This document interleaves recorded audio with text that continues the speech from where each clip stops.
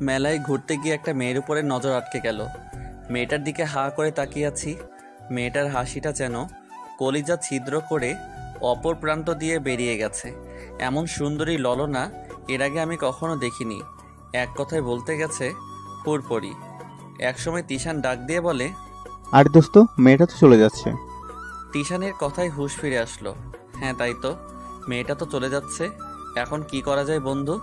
মেয়েটা তো কলিজায় দাগ লাগিয়ে দিয়েছে। তিশান চল একটা কাজ করি। মেয়েটার পিছু নেই। ওকে চল।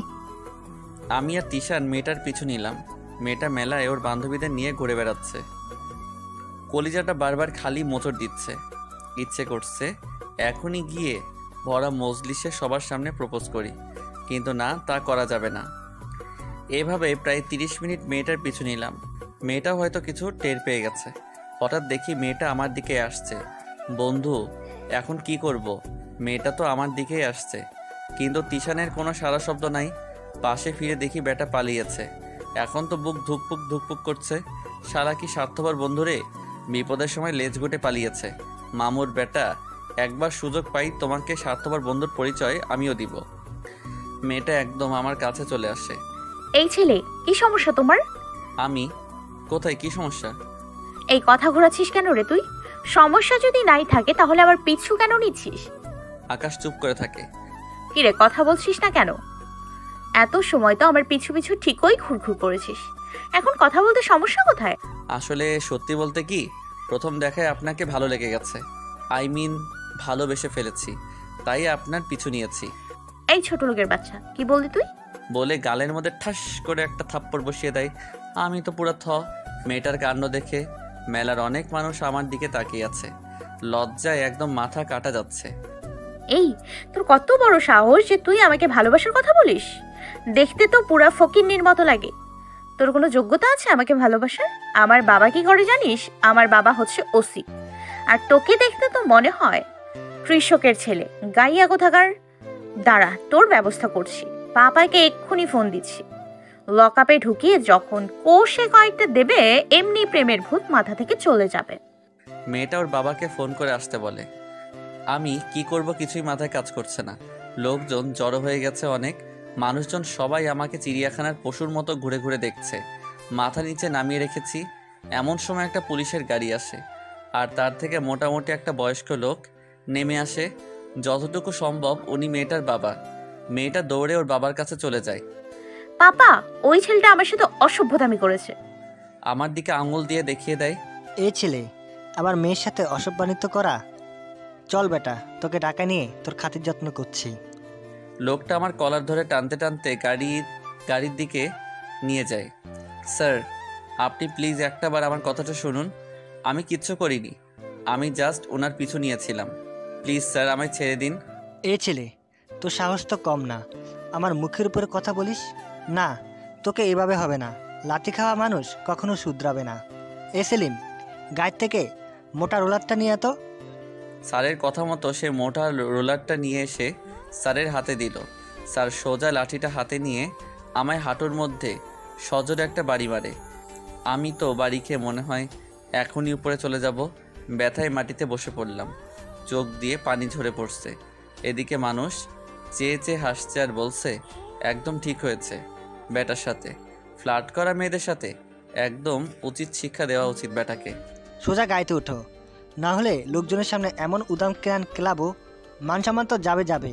শরীরের একটাও হাড়গোড় খুঁজে পাবি না। না না স্যার। প্লিজ আমি উঠছি। আকাশ মাটি থেকে উঠে দাঁড়ায় কিন্তু মাগো বলে চিৎকার দিয়ে আবার মাটিতে বসে যায়। ব্যথার চোটে উঠে দাঁড়াতেও পারছে না সে। ওসি স্যার রেগে গিয়ে আমাকে টেনে হেসড়ে গাড়িতে তোলে। বেটা অনেক ঢং ধরেছিস। এসব ঢং ধরে আমার সামনে কোনো লাভ হবে না। এদিকে ব্যথায় আমার কলিজা বের হয়ে যাবে মনে হচ্ছে কিন্তু কিছুই বলতে পারছি না। আমাকে থানায় নিয়ে গিয়ে মাটিতে আছড়ে ফেলে। এই বেটাকে নিয়ে লকাবে ঢুকা। আমার মেয়ের সাথে অসভ্যানিত করে? ওর কত বড় সাহস। ওকে মেরে ওর হাড্ডিগুড্ডি এক করে দেয়।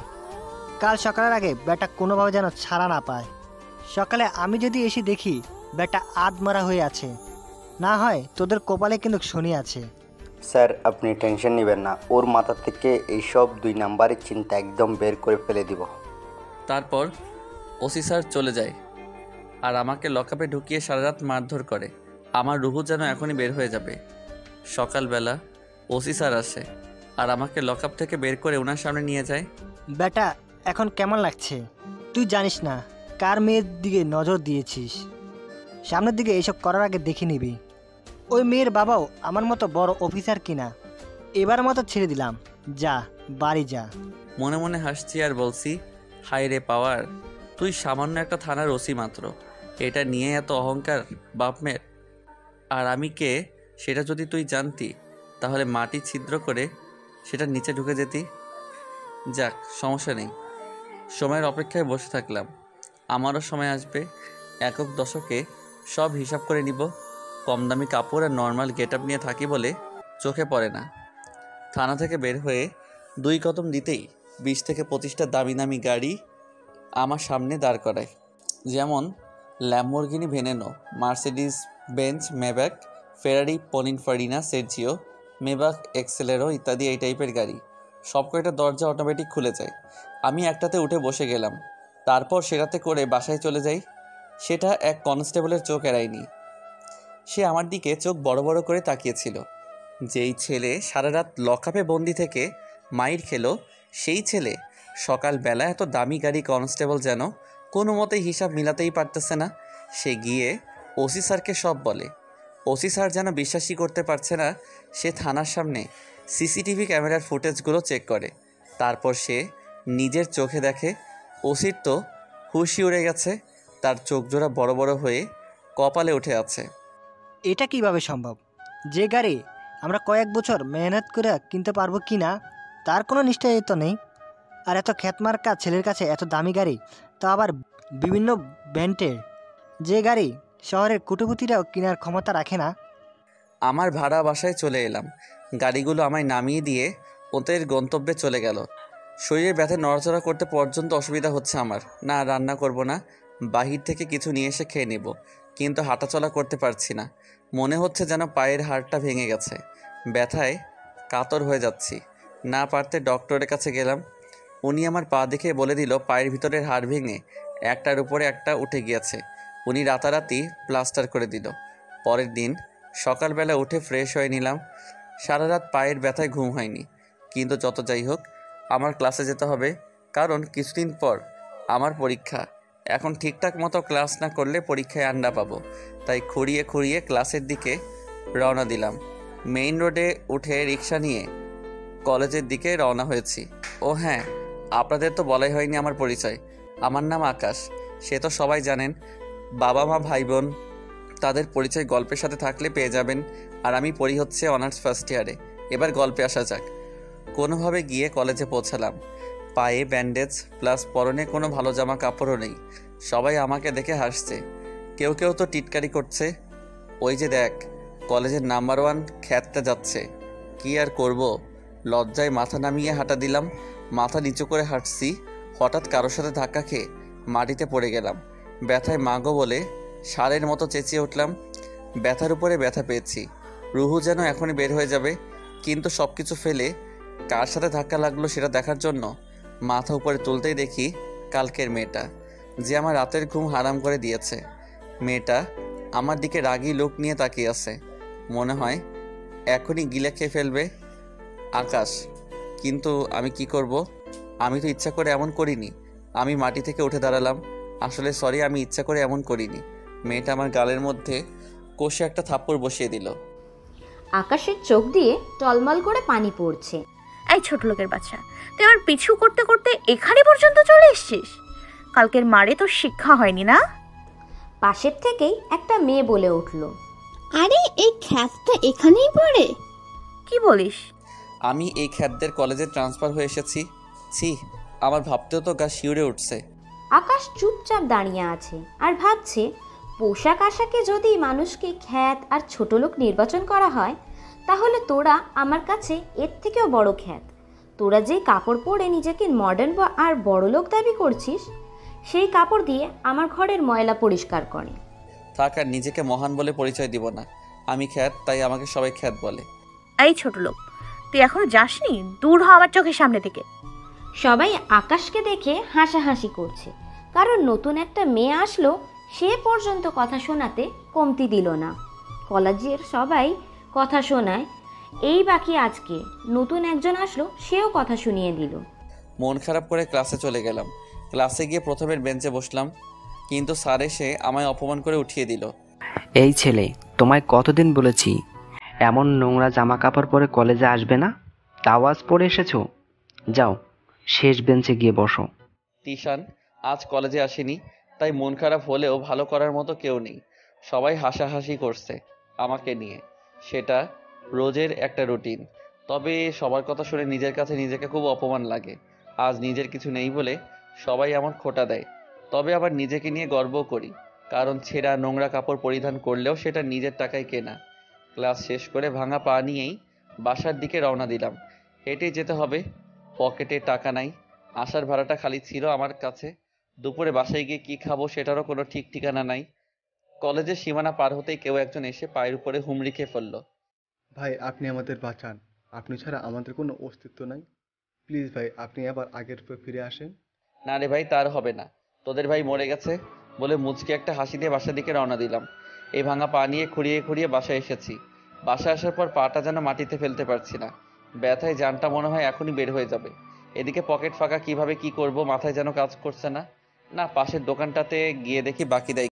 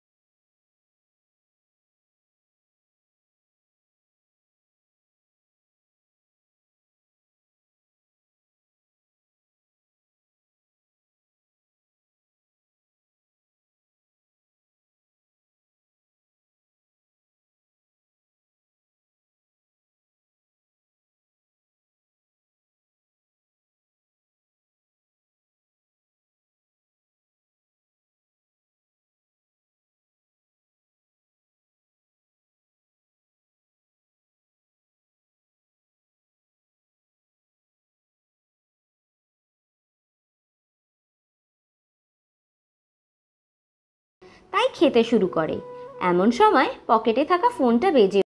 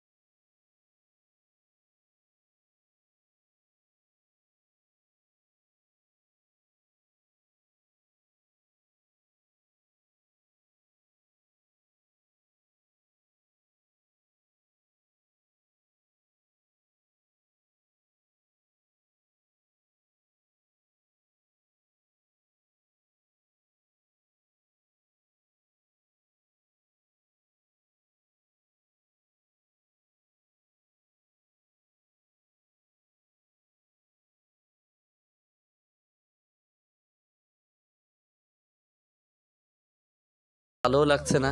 উঠে চলে যাব এমন সময় পিছন থেকে কেউ একজন ডাক দিয়ে বলে এই আকাশ দাঁড়াও। পিছনে ফিরে দেখে আরও মেয়েটা আমাদের সাথেই পড়ে। আমাদের ক্লাসমেট দেখতে মার্শাল্লাহ অনেক সুন্দর। মন মানসিকতাও অনেক ভালো। সবাই আমাকে কথা শোনালেও আজ পর্যন্ত সে আমায় কখনো কথা শোনায়নি। জি কিছু বলবেন? হ্যাঁ বলার জন্যই তো এসেছি। জি তাড়াতাড়ি বলুন। আমি চলে যাব। আর আমার মতো খ্যাতের সাথে আপনি কথা বলছেন সেটা কেউ দেখলে লোকে আপনাকে কথা শোনাবে। এই ছেলে তোমার এত তাড়া কিসের হ্যাঁ? চুপচাপ যেখানে বসেছিলে সেখানেই বসো। মেয়েটা আমায় জোর করে বসালো। আচ্ছা বসলাম। এবার তো বলেন। আমাকে তোমার ফ্রেন্ড বানাবে? আমি তো পুরো থ। মেয়ে বলে কি? কোথায় ও আর কোথায় সে? এ আপনি কি পাগল হয়ে গেছেন হ্যাঁ? আপনি কোথায় আমি কোথায়? শুধু শুধু আমার সাথে মিশে নিজের নাম কেন খারাপ করতে চাচ্ছেন আপনি? সরি আমি পারব না। লোকে আমার জন্য আপনাকে কথা শোনাবে এটা কখনোই আমি মেনে নিতে পারব না। আমি খ্যাত হতে পারি তবে মানুষকে অপমানিত করতে পারব না। এই আকাশ এবার কিন্তু তুমিও বেশি বাড়াবাড়ি করছ। কে কি বলবে সেটা আমার উপর ছেড়ে দাও। আর কলেজে আমাকে নিয়ে কথা বলবে এমন কারও বুকের পাটা হয় নাই। হাত বাড়িয়ে রেখেছি বন্ধু বানিয়ে নাও। আকাশের কাছে কল্পনা মনে হচ্ছে। আচ্ছা যান। আজ থেকে আমরা বন্ধু। তাহলে এখন থেকে আপনি নয় তুমি বলবে। আচ্ছা ঠিক আছে। আরু গিয়ে দশ টাকার বাদাম কিনে নিয়ে এসেছে। দুজনে বসে বসে সেগুলো চিবোচ্ছে আর গল্প করছে। দুজনের মধ্যে বেশ ভালো একটা ভাব জমে গেছে। আকাশ লক্ষ্য করে দূর থেকে একটা লেডি গ্যাং এদিকেই আসছে। সেখানে ওই অহংকারী মেয়েটাও আছে। আকাশ নিজেকে আড়াল করে ফেলে কারণ ওর জন্য এখন আরুকে ওরা কথা শোনাবে। আরু ওদের কাউকেই দেখতে পায়নি কারণ সে তার উল্টো দিকেই বসে আছে। সে বকবক করেই যাচ্ছে এদিকে আকাশের বুকটা ধুকপুক ধুকপুক করছে।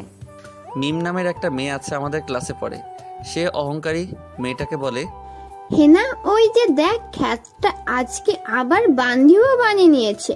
সবাই তো বুঝেই গেছেন। হ্যাঁ চল ওদের মজা নিয়ে আসি। ও তার মানে মেয়েটার নাম হিনা। কিন্তু ওর ভয়ের মাত্রাটা আরও বেড়ে গিয়েছে। এখন সবাই মিলে আমাকে অপমান করবে। কিরে খ্যাত? আজকে দেখছি আবার বন্ধুও পটিয়ে ফেলেছিস। সেও কি তোর মতো খ্যাত নাকি? বলেই হাসতে শুরু করে।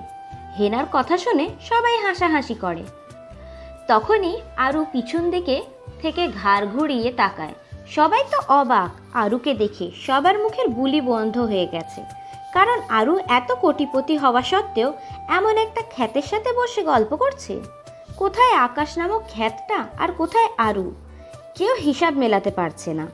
তবে সবার মুখের বলি বন্ধ হয়ে গেছে কারণ আরুকে কেউ কিছু বলতে পার পাবে না। সেটা যত বড় বাপের বেটাই হোক না কেন। তবে হেনা বলা বন্ধ করে নাই। সে আকাশের মজা ওড়াচ্ছে। হেনা নতুন, তাই সে আরুকে চিনে না। এই মেয়ে আর একবার যদি আকাশকে নিয়ে কিছু বলেছ অবস্থা খারাপ করে ছেড়ে দিব। তুমি যত বড় বাপের পেটি হও না কেন আমি কাউকে পরোয়া করি না।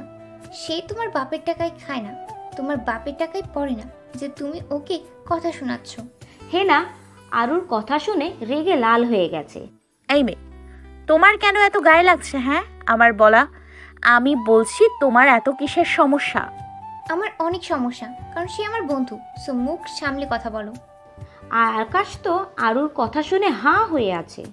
দেখা যাবে এই ফকির নিটের সাথে কয়দিন বন্ধুত্ব থাকে। আর শোন ছোট লোক তোকে আমি দেখে ছাড়বো। দেখে নিয়েছো? এখন ভাগো। হেনা রাগে ফসফস করতে করতে সেখান থেকে চলে যায়। আকাশ হাঁ হয়ে আরুর দিকে তাকিয়ে আছে। কেমন দিলাম? আকাশ কি বলবে ভাষা খুঁজে পাচ্ছে না সে। থ্যাংক ইউ আরে বন্ধু বান্ধবদের মাঝে নো থ্যাঙ্কস নো সরি তুই সত্যি অনেক ভালো একটা মেয়ে। আরও দুজনে অনেকটা সময় আড্ডা দিয়ে বাসায় চলে আসে। আকাশের আজ খুব খুশি লাগছে একটা ভালো বান্ধবী পেয়েছে। আর তার ওপর নাম্বারও দিয়ে দিয়েছে। বাসায় এসে দেখে পল্লব খাওয়া দাওয়া সব রেডি করে ফেলেছে। যাক ভালোই হয়েছে আর রান্না করতে হবে না। তারপর সে কাপড় চোপড় নিয়ে ফ্রেশ হতে চলে যাবে। ঠিক সেই সময় ফোনটা আবার বাজা শুরু করল। সে কাপড়গুলো ওয়াশরুমে রেখে এসে ফোনটা রিসিভ করে। হ্যালো কে বলছেন? আমি বাইজিৎ থানার দারোগা বলছি। আপনি কি আকাশ মাহমুদ? হ্যাঁ হব একজন। কী দরকারে ফোন দিয়েছেন সেটা বলেন। আপনার ছোট ভাই মুন্না এখন জেলে বন্দি তাকে শহরের ছেলেদের সাথে গ্যাঞ্জামে করার সময় আটক করেছি। ওকে অনেক মারধর করে ছেলেপেলেরা তাই তাকে বাঁচিয়ে এনে থানায় আটক করে রেখেছি। আর থানার মধ্যে ওর ট্রিটমেন্ট চলছে। আকাশের তো মাথায় একশোতে একশো গরম হয়ে যায়। ওর কলিজার ছোট ভাইকে কে মেরেছে, কার এত বড় সাহস? না, আমার আবার আগের রূপে ফিরে যেতে হবে। এই বেশভূষা ছেড়ে আবার নিজের ক্যারেক্টারে ঢুকে যাব। আর অনেক মানুষকে অনেক কিছু দেখানোর বাকি আছে। আকাশ মাহমুদ কি, সেটা এখনও কেউ জানে না। উপরের থেকে দেখতে খ্যাত হলেও ভিতর থেকে পুরোই আগুনের গোলা। রানাকে ফোন করে রানা তুই কোথায় রে? রানা হচ্ছে শহরের নামকরা মাস্তান। এই যে ভাই একটা গ্যাঞ্জামে আসছি। ভাই সমস্যা নাই বলেন। মুন্নাকে নাকি গত রাতে কারা মেরেছে? ভাই আসলে কি করে যে বলব? শহরে কিছু ছেলেপেলেরা মিলে একটা দল পাকাইছে র্যাক্স নামের। ওদের সাথে জামালা হয়েছে নাকি ওর? তোরা থাকতে কীভাবে ওকে মারলো? আমি না হয় নাই কিন্তু তোরা কোন মরা মানুষের লোম ছিঁড়তেছিস ভাই প্লিজ আপনি রাখবেন না। আমি দেখছি মন্দার কি হয়েছে আর ওদের বারোটা বাজাচ্ছি আমি আপনি নিশ্চিন্তে থাকুন। ওকে ফোন রাখলাম। বলে ফোনটা রেখে দেয় মেজাজ পুরোই মাথায় উঠে আছে। ওর অবর্তমানে তারই ছোট ভাই এদের মেরে যায় এত বড় সাহস না।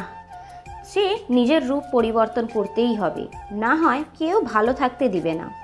কিন্তু পরক্ষণেই মনে পড়ে, সে কেন ঘর ছেড়েছে? ঘর ছাড়ার উদ্দেশ্য কি?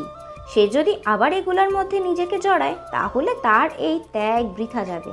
না, দুনিয়াদারি যেই দিকে যাবে, যাক, আমাকে মানুষের মতো মানুষ হতেই হবে। তারপর, সে ফ্রেশ হতে চলে যায়। ফ্রেশ হয়ে এসে খাবার খেয়ে একটু বিশ্রাম নেয়। প্রিপারেশন নিয়ে নেয়, তখনই আরুর ফোন এই আকাশ, কি করো? খাবার খেয়েছো? হ্যাঁ এই তো খেয়ে দে মাত্র শুতে যাব। এই ডিস্টার্ব করলাম না তো? আরে পাগল কি বলছো এগুলা? ডিস্টার্ব কেন হতে যাব? আচ্ছা বলো তুমি খেয়েছো? হ্যাঁ খেয়েছি আরও অনেক আগে। আচ্ছা শোনো তোমায় যে জন্য ফোন করেছি আজ বিকেলে একটু ঘুরতে বের হব। রেডি থেকো। আমার পা তো ভালো না কি করে ঘুরবো? আরে আমি আছি না আমি তোমায় ধরে থাকব। আর দুজনে মিলে অনেক ঘুরবো। আচ্ছা ঠিক আছে। এবার একটু বিশ্রাম নেই তাহলে? ওকে টাটা। বলেই লাইন কেটে দেয়। কিন্তু আকাশের একটা জিনিস মাথায় কাজ করছে না। হঠাৎ আরও কেন ওর সাথে এত ঘনিষ্ঠ হতে চাচ্ছে? এর পিছনে কি কোনো কারণ আছে? ধুর যাই হবে হোক। এত মতলব খুঁজে লাভ নেই। ফোন রেখে দিও একটু বিশ্রাম নেওয়ার চেষ্টা করলাম। বিকেলবেলা আরুর ফোন পে ঘুম ভাঙলো। এই তুমি কোথায়? রেডি হয়েছো? না এখন মাত্র ঘুম থেকে উঠলাম তোমার ফোন পে। আচ্ছা আমি গাড়ি নিয়ে আসছি তোমার বাসার সামনে। এই সময়ের মধ্যে তুমি রেডি হয়ে নাও। আচ্ছা তা ঠিক আছে কিন্তু আমার বাসা কোথায় সেটা তুমি জানো? হ্যাঁ জানি। আমি অনেক আগ থেকেই জানি তুমি কোথায় থাকো। আরুর কথা শুনে আকাশের টনক নড়ে উঠল। এই মেয়ের অন্য কোনো মতলব নাই তো? দূর কি ভাবছি আমি? ওর নামে উল্টাপাল্টা? আচ্ছা ঠিকানা জানলে চলে এসো। আমি ফ্রেশ হচ্ছি। আকাশ উঠে ফ্রেশ হয়ে নেয়। পরে একটা শার্ট বের করে গায়ে দেয়। পুরাতন শার্ট আল্লাহ জানে আরও কি মনে করবে। কিন্তু কি করব? আমার তো আর শার্ট নেই দুইটাই শার্ট একটা কলেজের আর একটা বাসার। একটু পর আরও বাসার নিচে এসে হর্ন বাজালো। আচ্ছা পল্লব তুই একটু থাক আমি বাইরে যাচ্ছি। আমার আসতে হয়তো একটু সময় লাগবে। আচ্ছা ভাই সমস্যা নেই। তারপর বাসা থেকে নিচে নামে পরে আরুর গাড়ি করে দুজনে মিলে ঘুরতে বের হই। আচ্ছা আরু আমরা কোথায় যাচ্ছি? শুরুতে আমরা পার্কে ঘুরবো পরে দুজনে রেস্টুরেন্টে খাব পরে মলে যাব। আমার কাছে তো টাকা নেই। আরুর চোখ গরম করে আকাশের দিকে তাকায়। এ কি হয়েছে? এইভাবে চোখ বড় বড় করে তাকিয়ে আছো কেন? এই ছেলে কি সমস্যা হ্যাঁ? তোমার কাছে টাকা আছে কি নাই সেটা তোমাকে একবার জিজ্ঞেস করেছি? আর তোমার টাকা দিয়ে আমার কাজ কি? তুমি আমি ঘুরতে এনেছি। সমস্ত খরচ আমার। কথা কম বলবে একদম। এই এত রেগে যাচ্ছ কেন? রাখব না তো কি করব? তুমি সব সময় নিজেকে এত ছোট করে দেখো কেন হ্যাঁ? আকাশ। নেক্সট টাইম এই সব কথা শুনলে হবে খালি মুখ থেকে মনে মনে? বাবা গো কি রাগ? এই নামো পার্কে এসে পড়েছি। তারপর দুজনে গাড়ি থেকে নেমে পার্কের ভিতরে ঢুকলাম। সবাই আমার দিকে ঘুরে ঘুরে তাকাচ্ছে। ফার্স্টে বুঝতে না পারলেও পরে ঠিকই বুঝে নিয়েছি মানুষ কেন বারবার আমার দিকে ঘুরে ঘুরে তাকাচ্ছে। কারণ আমাকে দেখতে একদম পুরো খ্যাত লাগছে। আর আরুকে হুড়পড়ির মতো কিন্তু আরুর সেই দিকে কোনো ভ্রুক্ষেপই নাই আমার পোশাক আশাক নিয়ে যেন তার কোনো মাথা ব্যথাই নাই। বাকি মানুষে আমাকে নিয়ে নানান মন্তব্য করে চলেছে। এই চলো ওই দিকটাই গিয়ে বসি। তারপর দুজনে গিয়ে ওই পাশে একটা খালি জায়গা ছিল সেখানে গিয়ে বসলাম। দুজনে বসে বসে গল্প করছি। বেশ অনেকটা সময় গল্প করলাম। এই চলো অনেকটা সময় হয়ে গেছে এবার গিয়ে কিছু খাব। আরও আমাকে একটা রেস্টুরেন্টে নিয়ে গেল। এই কি খাবে? তোমার যা ভালো লাগে অর্ডার করো। আরও তার নিজের পছন্দ মতো অর্ডার করল। খাওয়া দাওয়া করে। এই চলো। এখন আবার কোথায় যাবে? মলে যাব আমার কিছু কেনাকাটা করতে হবে। আচ্ছা চলো আরও গাড়ি স্টার্ট করে শপিং মলের সামনে গিয়ে থামলো। পরে দুজনেই মলে ঢুকলাম। মলের ভিতরে এসি লাগানো। ঠান্ডায় মাইগ্রেনের সমস্যা করছে। হাত পাও ঠান্ডা হয়ে আসছে আমার। আরও আমার না খুব সমস্যা হচ্ছে। এসির বাতাসে মাইগ্রেনের সমস্যা করতেছে। আচ্ছা দাঁড়াও। আরও ব্যাগ থেকে একটা চাদর বের করে দিয়ে বলল নাও এটা নাকে মুখে পেঁচিয়ে নাও। আরুর চাদরটা নিয়ে নাকে মুখে পেঁচিয়ে নিলাম। এবার একটু বেটার ফিল হচ্ছে। আরও আমাকে নিয়ে একটা দোকানে ঢুকলো। আঙ্কেল ভালো কোয়ালিটির কয়েকটা প্যান্ট দেখান তো। মামনি কার জন্য দেখাবো? সাইজটা একটু বলো। আরও আকাশকে দেখিয়ে দিয়ে। ওর সাইজ লাগবে। আরুর কথা শুনে অবাক হয়ে যাই। এই আরু তুমি কি করছ? আমার জন্য প্যান্ট কিনছো কেন? আরও চোখ রাঙিয়ে আকাশের দিকে তাকায়। এই ছেলে বেশি কথা বলতেছো মনে হয়? অবস্থা কিন্তু খারাপ করে ছেড়ে দিব। আমার মুখের উপর কথা বললে। আরু আকাশের জন্য দুইটা দামি প্যান্ট আর দুইটা শার্ট কেনে। এই নাও, এগুলো তোমার জন্য। কাল থেকে যদি কলেজে ওইসব পরে আসো, খারাপ হবে। মানুষ তোমাকে কথা শোনাবে কেন হ্যাঁ? আকাশ কি বলবে কিছুই বুঝে উঠতে পারছে না, কারণ আরুকে সে যতই দেখছে, ততই অবাক হচ্ছে। এই মেয়েটার মধ্যে কোনো এক দিমাগ বা হিংসা নাই। একদম সাধারণ একটা মেয়ে। গাড়ি দেখলেই বোঝা যায় বাপের অঢেল সম্পত্তি। তাও অহংকার বলতে কি, সেটা তার মধ্যে নেই। আচ্ছা চলো অনেক সময় হয়েছে। এবার বাসের দিকে যাওয়া দরকার। হ্যাঁ ঠিক বলেছ। অনেকটা সময় হয়েছে এবার যাওয়া দরকার। দুজনেই লিফট দিয়ে নেমে শপিং মল থেকে বের হবে। ঠিক সেই সময় কেউ একজন ইচ্ছা করে এসে আকাশের গায়ের সাথে ধাক্কা খায়। সে ধাক্কা দিয়ে সে নিজেই মাটিতে পড়ে গেছে। আকাশ লক্ষ্য করে দেখে এটা হেনা।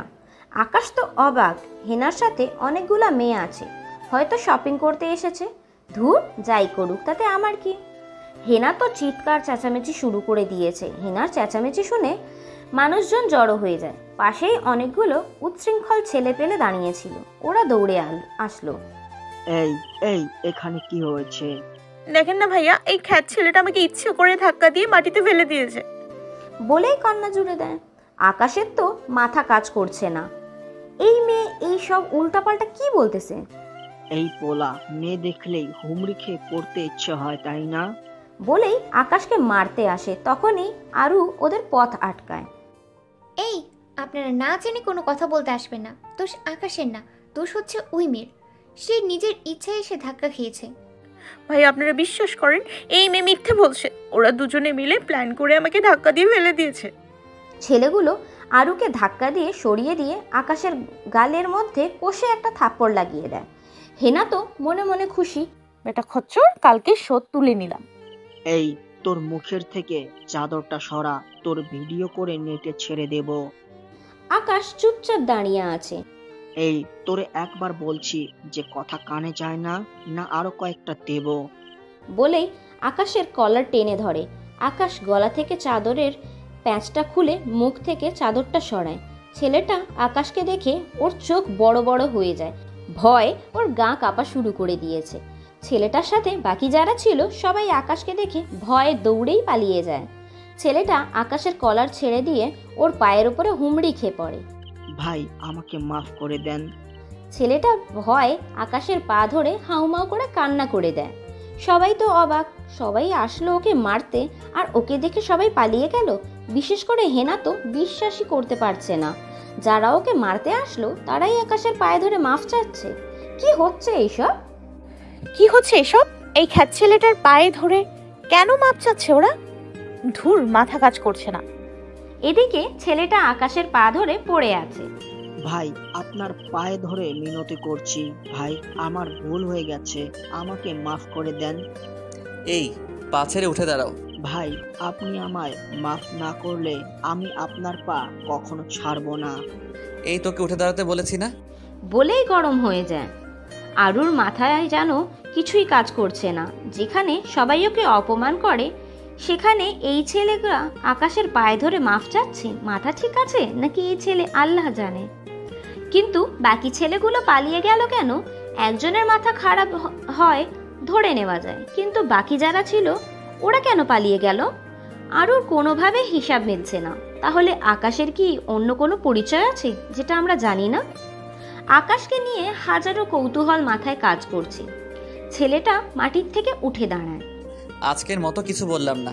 সব ছেড়ে ভালো হয়ে গিয়েছি। না হয় তোরা তো জানিস যে তোদের মৃতদেহ দেখে এত সময় মানুষের কান্নার রোল পড়ে যেত। ভবিষ্যতে যদি এমন ভুল দেখি ওই দিনই ভুবনে তোদের শেষ দিন হবে। ভালো থাক চললাম। বলেই আরুকে নিয়ে শপিং মল থেকে বের হয়ে যায়। সমস্ত কিছু যেন হেনার মাথার উপর দিয়ে গেল। ছেলেটার ভয় এখনও হাত পা কাঁপছে। কি ভাই ওকে মারতে গিয়ে নিজেরাই ভয়ে কাবু হয়ে গেলেন? আপনারা চারজন আর ওই খ্যাতটা একা ছিল। তাও আপনারা ওকে মারতে পারলেন না? বাহ শুরুতে তো অনেক বীরবল দেখিয়েছেন। ছেলেটা হেনার গালের মধ্যে কষে একটা থাপ্পড় বসায় দেয়।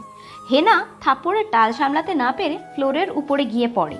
এই মেয়ে তোর কুষ্টি মারি। আর একটা শব্দ বের করবে মুখ দিয়ে। তাহলে তোকে থাপড়াইতে থাপড়াইতে এখানেই মেরে ফেলব।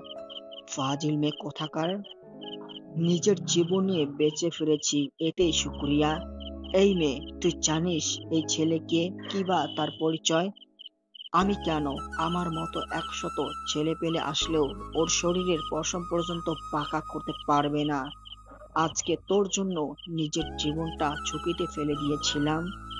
আসলে দোষ ভাইয়ের না, দোষ তোর। তুই ইচ্ছা করেই ভাইকে ধাক্কা দিয়েছিস। সোজা এখন এখান থেকে কেটে পড়। না হয় আরেকবার যদি আমার চোখের সামনে পড়িস, তাহলে তোকে খুন করে দেব, বুঝলি? হেনা ভয় শপিং মল ছেড়ে বের হয়ে যায় বান্ধবীদেরকে নিয়ে। কিন্তু হেনা ভিতরে ভিতরে রাগে ফসফস করছে। একে তো শপিং করতে পারে নাই। দ্বিতীয় এই খ্যাত আকাশের জন্য অপরিচিতা একটা ছেলের গায়ে হাতে থাপ্পড় খেলো। সব এই খ্যাত আকাশের দোষ। ব্যাটাকে আমি ছাড়বো না তোর জন্য মার খেয়েছি। তোর শেষ দেখেই ছাড়বো আমি। আর শালা ফকিন্নির বাচ্চা কি বলল? ওর মতো একশত ছেলে পেলে আসলেও এই খ্যাটটার কিচ্ছু করতে পারবে না। আরে একশত ছেলে পেলে কেন? খ্যাটটাকে আমি নিজেই সাইজ করব। অন্যদিকে আরু ড্রাইভ করছে গাড়ি। আকাশ চুপচাপ বসে আছে। এমনিতেই আরুর মাথায় তো আকাশকে নিয়ে হাজারো কৌতূহল। তার মধ্যে এই ছেলেটাকে বলা আকাশের শেষ কথাটা তাকে আরও ভাবাচ্ছে। সে শিওর আকাশের কথা শুনে সে আকাশের কোনো অতীত লুকানো আছে। আকাশ চুপচাপ গাড়িতে বসে আছে। মন মেজাজ একদম বিগড়ে আছে। আকাশের কচু পোড়া দুনিয়ায় মানুষগুলো। এত আজীব কেন? আমি ভালো থাকলে ওদের শরীরে এত জ্বালা করে কেন? যেখানেই যাই পিছনের অতীতের সাথে রিলেটিভ কোনো কর্মকাণ্ড ঘটে যায়। আকাশের গালে আঙুলের ছাপ বসে আছে। আরও ড্রাইভ করে আর আকাশের বাসার সামনে এসে এনে আকাশকে নামিয়ে দেয়। আকাশ গাড়ি থেকে নেমে আরু সাবধানে যেও। আর কোনো সমস্যা হলে আমায় ফোন দিও। বলেই সে ঘরের দিকে হাঁটা দেয়। আচ্ছা তুমিও ভালো থেকো। আকাশ বাসার ভিতরে ঢুকবে আরু পিছন থেকে আবার ডাক দেয়। এ আকাশ শুনো না একটু। হ্যাঁ বলো। কাছে আসো। আকাশ আরুর কাছে গিয়ে হ্যাঁ বলো। আরু ঠুস করে আকাশের গালে একটা কেস বসিয়ে দেন এই এই কি হলো এটা? কই কি হয়েছে? আরে এত চাপ নিচ্ছ কেন? বন্ধুকে ভালোবেসে দু একটা পাপ্পি দেওয়াই যায়। আচ্ছা গেলাম। সে বাসার ভিতরে চলে আসে। আরুও চলে যায়। আকাশ এসে দেখে পল্লবও বাসায় নাই। সে ফ্রেশ হয়ে নাস্তা করে পড়তে বসে। পল্লব একটু পরেই চলে আসে। ভাই আপনার গায়ে নাকি কে হাত দিয়েছে? কিন্তু তাও নাকি আপনি তাদেরকে ছেড়ে দিয়েছেন? কিরে তুই কি করে জানলি? ভাই আমি আপনাকে নিজের চাইতেও বেশি ভালোবাসি। আপনার গায়ে হাত দিয়ে কীভাবে বেঁচে যাবে? আপনার গায়ে হাত দিয়েছে আর আমি ওকে ছেড়ে দিব সেটা আপনার মনে হয়? বেটাদের কেচ্চা কাহিনী খতম। আরে তোরা কি কখনো মানুষ হবি না? তোদের নিয়ে আর পারি না। আমি যেইখানে কিছু করিনি সেইখানে তুই কেন উল্টাপাল্টা করতে গেলি? এটা তো কম ভাই আপনাকে আঘাত করবে এমন জানতে পারলেও জীবন কেড়ে নেব। জানে ওদের যত মানা করুক কিন্তু কাজ হবে না। বেটাদের খেইল খতম করে দিয়েছে পল্লব। আচ্ছা আমার পড়তে হবে। তুই কোনো কাজ থাকলে শেষ কর। আকাশ পড়ায় মন দেয়। পড়া শেষ করে রাতের বেলায় খাবার খেয়ে ঘুমিয়ে পড়ে। কিন্তু অন্যদিকে হেনার চোখের ঘুম কেড়ে নিয়েছে আকাশ। ওকে আজ মার খাওয়াইছে খ্যাতটা কিন্তু একটা জিনিস মাথা কাজ করছে না। আকাশকে মারার পর সে কোনো রিয়াক্ট করল না। ছেলেটা দেখতে খ্যাত হলেও ওর মধ্যে ভালো কিছু গুণ আছে। আমি ওই খ্যাতটাকে নিয়ে কি সব উল্টাপাল্টা ভাবনা করছি? তবে খ্যাতটার কোনো একটা দিক হেনাকে দুর্বল করে দিচ্ছে। আকাশকে সে কোনোভাবেই স্মৃতিশক্তি থেকে সরাতে পারছে না। সকালবেলায় আকাশ ঘুম থেকে উঠে কলেজে চলে যায়। আরও আজ আগে ভাগেই চলে এসেছে। তিশানও আজ কলেজে এসেছে। তিশান আকাশের সাথে আরুকে দেখে তো অবাক। তিশান আরও আমাদের বন্ধুত্বের মধ্যে নতুন জয়েন হয়েছে। ক্লাস শুরু হতে আরও তিরিশ মিনিট বাকি। তাই সবাই বসে বসে আড্ডা দিচ্ছে। এমন সময় হেনা কলেজে আসে। এসেই দেখে তিনজন একসাথে বসে গল্প করছি। হেনার কেন জানি একদম গা চলে যাচ্ছে বিশেষ করে আকাশের সাথে আরুকে দেখে। না দাঁড়া তোদের ব্যবস্থা করছি। তোদের দুটাকেই আমি কখনোই একসাথে থাকতে দিব না। ক্লাসের ঘণ্টা পরে ঘ- সবাই ক্লাসে চলে যায়। আকাশ আজ আবার সামনে বসেছে। স্যার এসে দেখে আকাশ কাপড় পাল্টেছে। যাক তাহলে এবার নতুন কাপড় কিনে পরিধান করেছ তাই আর কিছু বললাম না। স্যার কিনেছে না কেউ ভিক্ষে দিয়েছে। এসব খ্যাতমার্কা ছেলেদের সামর্থ্য আছে নাকি? নতুন কাপড় চোপড় কেনার? হেনার কথা শুনে ক্লাসের সবাই সজোরে হেসে দেয়। এই স্টপ স্টপ এটা ক্লাস কোনো বিনোদন কারখানা না। স্যার লেকচার দিতে শুরু করে। সবাই স্যারের কথার দিকে ফোকাস করে কিন্তু হেনা অন্য কিছু ভাবছে। আকাশকে সে শিক্ষা দিয়েই ছাড়বে। কিন্তু কীভাবে দেবে? একটা বুদ্ধি আঁটে। হ্যাঁ পেয়েছি। এবার ব্যাটা যাবি কই? ক্লাস শেষ করে আকাশ তিশান আর আরু গাছতলায় বসে বসে আড্ডা দিচ্ছে। এমন সময় হেনা আকাশকে ডাক দেয়। আকাশ শুনেও না শোনার ভান করে আছে। হেনা আকাশের কাছে গিয়ে এই আকাশ শোনো তো একটু। তোমার সাথে আমার কিছু কথা আছে। এই আকাশ তুই যাবি না? তোকে আবার অপমান করবে। সরি আপনার সাথে আমার কোনো কথা নাই আপনি যেতে পারেন। প্লিজ শোনো জাস্ট দু মিনিট কথা বলব একটু দরকার। না বলেছি না আপনার সাথে আমার কোনো কথা নাই আপনি যান এখান থেকে। প্লিজ একটু কথা শোনো না। আচ্ছা আরু তোমরা দাঁড়াও কি বলে শুনে আসি। এত করে রিকোয়েস্ট করছে।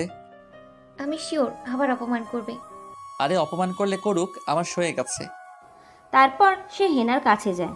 জি কি জন্য ডেকেছেন এবার বলেন। আসলে আকাশ সরি কালকের বিষয়টার জন্য। শুধু কালকের না আগের সমস্ত ব্যবহারের জন্য আমি সরি আরে আরে কি করছেন? পাগল হয়ে গেছেন নাকি? আপনি কোথায় আর আমি কোথায়? আপনি হচ্ছেন ওসির মেয়ে আর আমি হচ্ছি কোথায় একটা খ্যাত মার্কা ছেলে? আমার কাছ থেকে মাপ চাওয়া আপনার মানাই নাকি? আকাশ জানি তুমি আমার উপরে এখনও রেগে আছো। প্লিজ মাফ করে দাও। তোমায় আর কখনো খ্যাত বলব না। আচ্ছা যান মাফ করে দিয়েছি। এবার ভালো থাকেন। বলেই চলে আসতে ধরবে এমন সময় হেনা আবার ডাক দেয়। এই আকাশ দাঁড়াও। আবার কি? এত তাড়াহুড়ো কেন তোমার হা? একটু কথা বললে কি হয় আমার সাথে? আরে আজীব তো কি বলব আপনার সাথে? মাপ চাইতে এসেছেন কাজ শেষ। এরপর আর কি কথা থাকতে পারে? প্লিজ আমি তোমার বন্ধু হতে চাই। আমাকে তোমাদের বন্ধুত্বের মধ্যে সামিল করে নাও। আচ্ছা আপনি আসলে কোন মতলব নিয়ে এসেছেন বলেন তো? শুরুতে মাপ চাইলেন এখন বলছেন বন্ধু হতে চান। আসলে ঘটনাটা কি? এক রাতের মধ্যে কি এমন পরিবর্তন হয়ে গেল যে আমার মতো খ্যাতের সাথে ভালো ব্যবহার করছেন? কি- কিসের মতলব থাকবে? আমার কোনো মতলব নেই। আমি তোমার বন্ধু হতে চাই। ধুর আপনার সাথে কথা বলাই বেকার। আপনাকে বন্ধু বানানো ইম্পসিবল কখনোই না। আমার মাথা খারাপ হয়নি যে আপনাকে বন্ধু বানাতে যাব। আকাশ হেনাকে রেখে তিশানদের কাছে চলে আসে। হেনাও আকাশের পিছন পিছনে আসে। এই আরু আমি তোমাদের বন্ধু হতে চাই। আকাশকে বলেছি সে আমাকে বন্ধু বানাতে রাজি হচ্ছে না।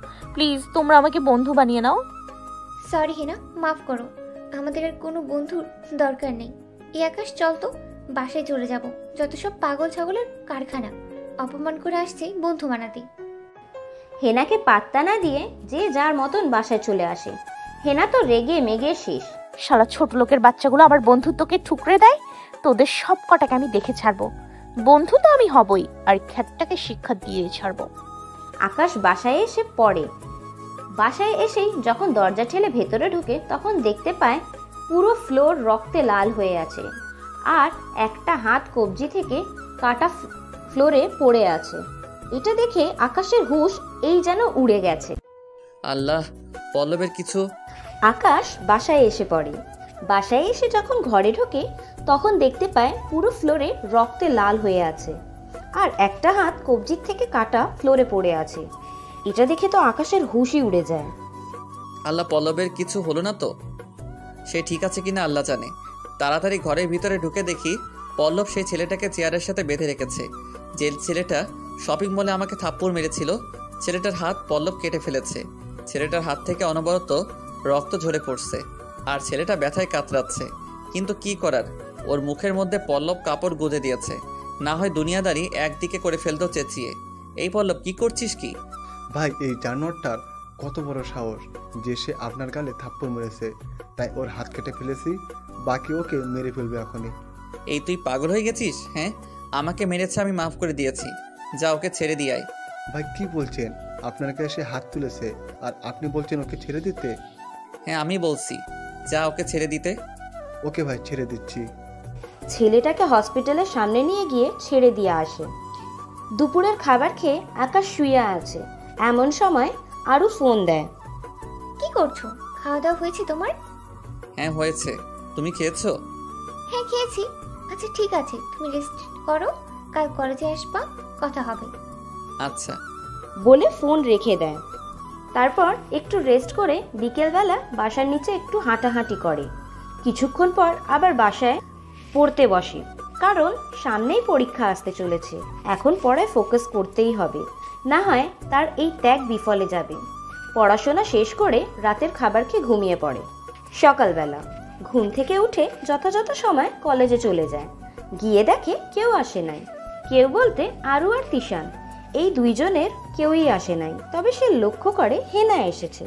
তাই সে নিজেকে আড়াল করে ফেলে। কিন্তু হেনার চোখে ধরা খেয়ে যায়। হ্যাঁ এটাই সুযোগ। ওর সাথে একা কথা বলার। না হয় চামচাগুলো আসলে আর কথা বলতে দেবে না। তাই সে আকাশের কাছে চলে যায়। আকাশ হেনাকে দেখে তত থতমত খেয়ে যায়। কিরে আমি তো নিজেকে আড়াল করে ফেললাম। তাও এই মেয়ে আমায় দেখল কি করে? হেনা আকাশের কাছে গিয়ে এই ছেলে তোমার সমস্যা কি হ্যাঁ? আমায় দেখলে এভাবে পালিয়ে বেড়াও কেন? কে? কে? কে বলেছে? আমি আপনাকে দেখলে পালিয়ে বেড়াই? শোনো আমি বাচ্চা না। আমি সব কিছুই বুঝি। আচ্ছা তুমি কি আমায় মাফ করবে না? আমি তো সমস্ত কিছুর জন্য সরি বলেছি। তাও আমাকে তোমাদের বন্ধু বানাবে না? মানুষ মাত্রই ভুল আর আমিও সেই ভুল করেছি। কিন্তু তার জন্য তো ক্ষমাও চেয়েছি। কিন্তু তুমি আমাকে ক্ষমা করছ না। আরে আজীব তো ক্ষমা তো করে দিয়েছি। তাহলে বন্ধু বানাতে সমস্যা কোথায়? আপনার হয়তো মাথা নষ্ট হয়ে গেছে। বন্ধু আর ক্ষমা দুইটা আলাদা জিনিস। তাছাড়া আপনি একজন ওসির মেয়ে। আপনার সাথে আমাদের বন্ধুত্ব কি করে হয়? কোথায় আপনি কোটিপতির মেয়ে? আর কোথায় আমরা ছোট লোক খ্যাত? তার চেয়ে বড় কথা সেদিনের মায়ের কথা আমার মনে আছে। সারাটা রাত আপনার বাবার হুকুমে তিনার চামচাগুলো আমায় মেরেছে। আমি আর নতুন করে কোনো ঝামেলা চাই না। আর আপনার বাবার কাছে মারও খেতে চাই না। হেনা খপ করে আকাশকে জড়িয়ে ধরে আর সাথে সাথে কান্না করে দেয়। আকাশ প্লিজ আমায় এভাবে ফিরিয়ে দিও না। আমি কেন জানি তোমার অবহেলা নিতে পারছি না। এই এই কি করছেন? প্লিজ ছেড়ে দেন। মানুষ দেখলে কেলেঙ্কারি হয়ে যাবে। না আমি ছাড়বো না। আগে বলো আমাকে তোমাদের বন্ধু বানাবে বিশেষ করে তোমার?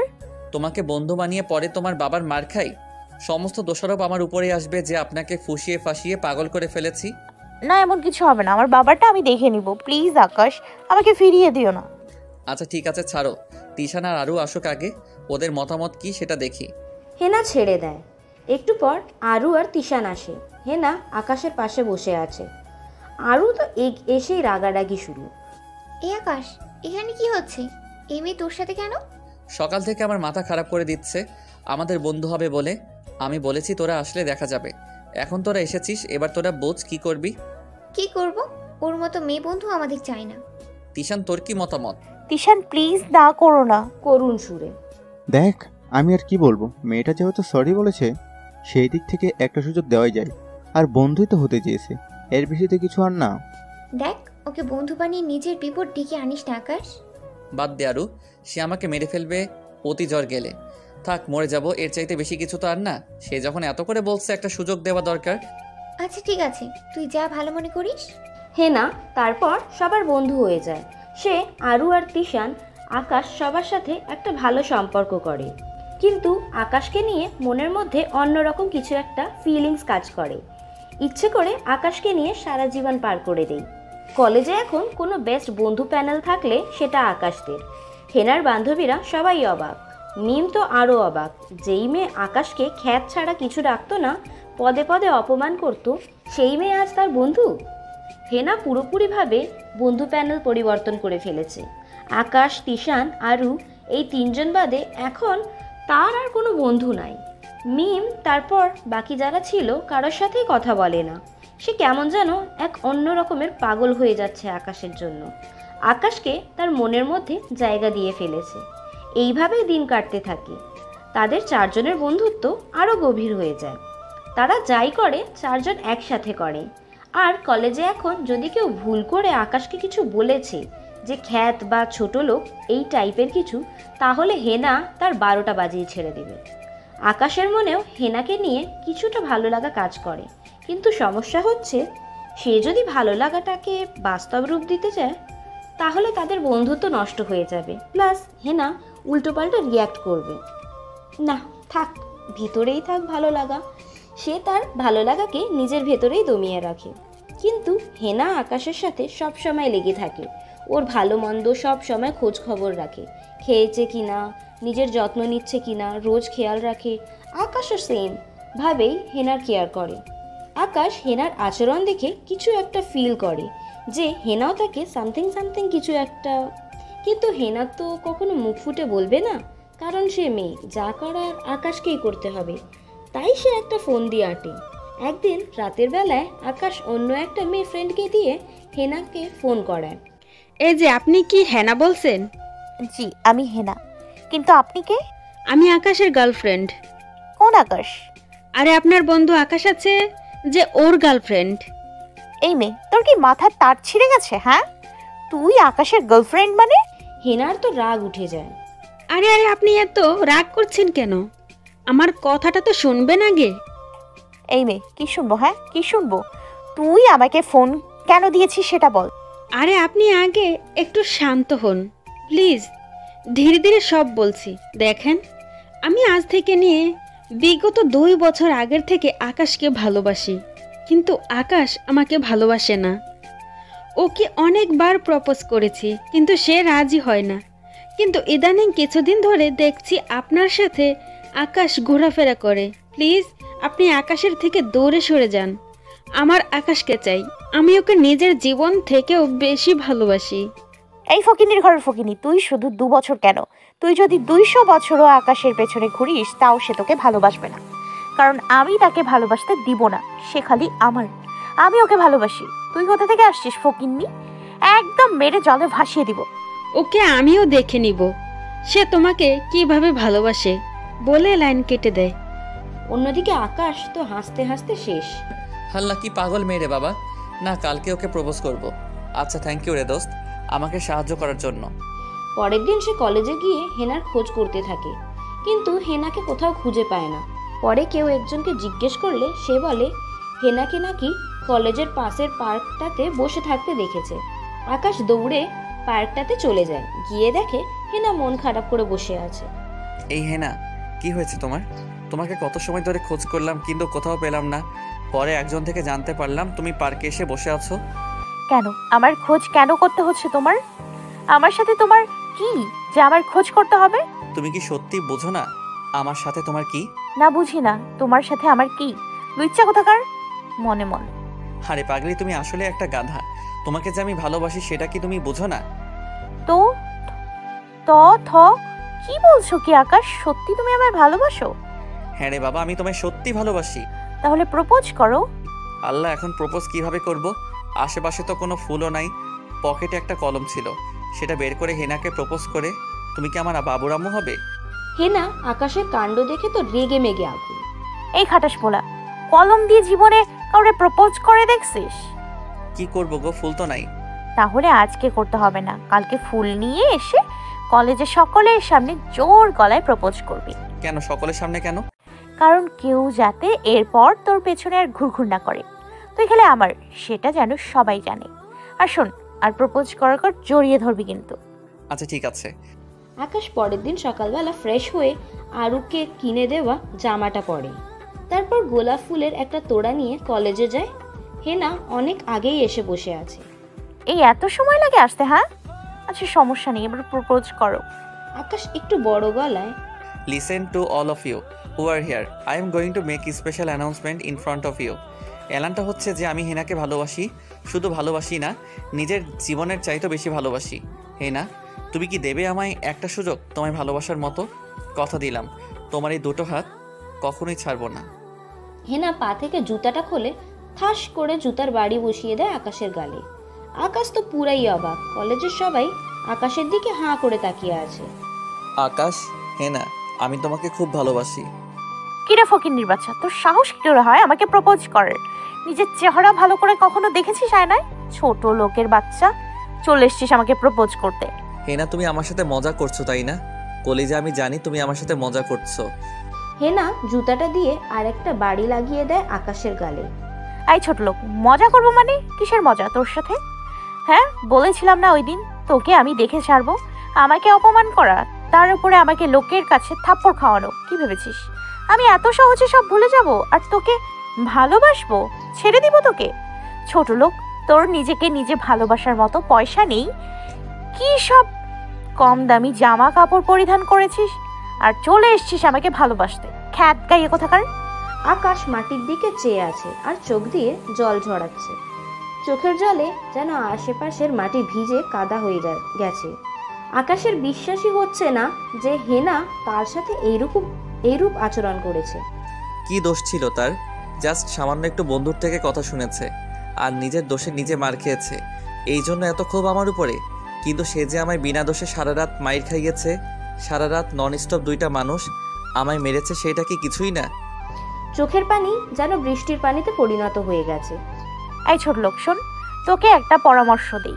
আগে নিজেকে ঠিক কর তোর যে স্ট্যাটাস তোর জন্য আমরা না তোর জন্য তো গ্রামের ছকিনা পারফেক্ট আর শোন আমি কে সেটা চিনে রাখবি? ফকির নিজ্ঞাইয়া কোথাকার? থাক চললাম।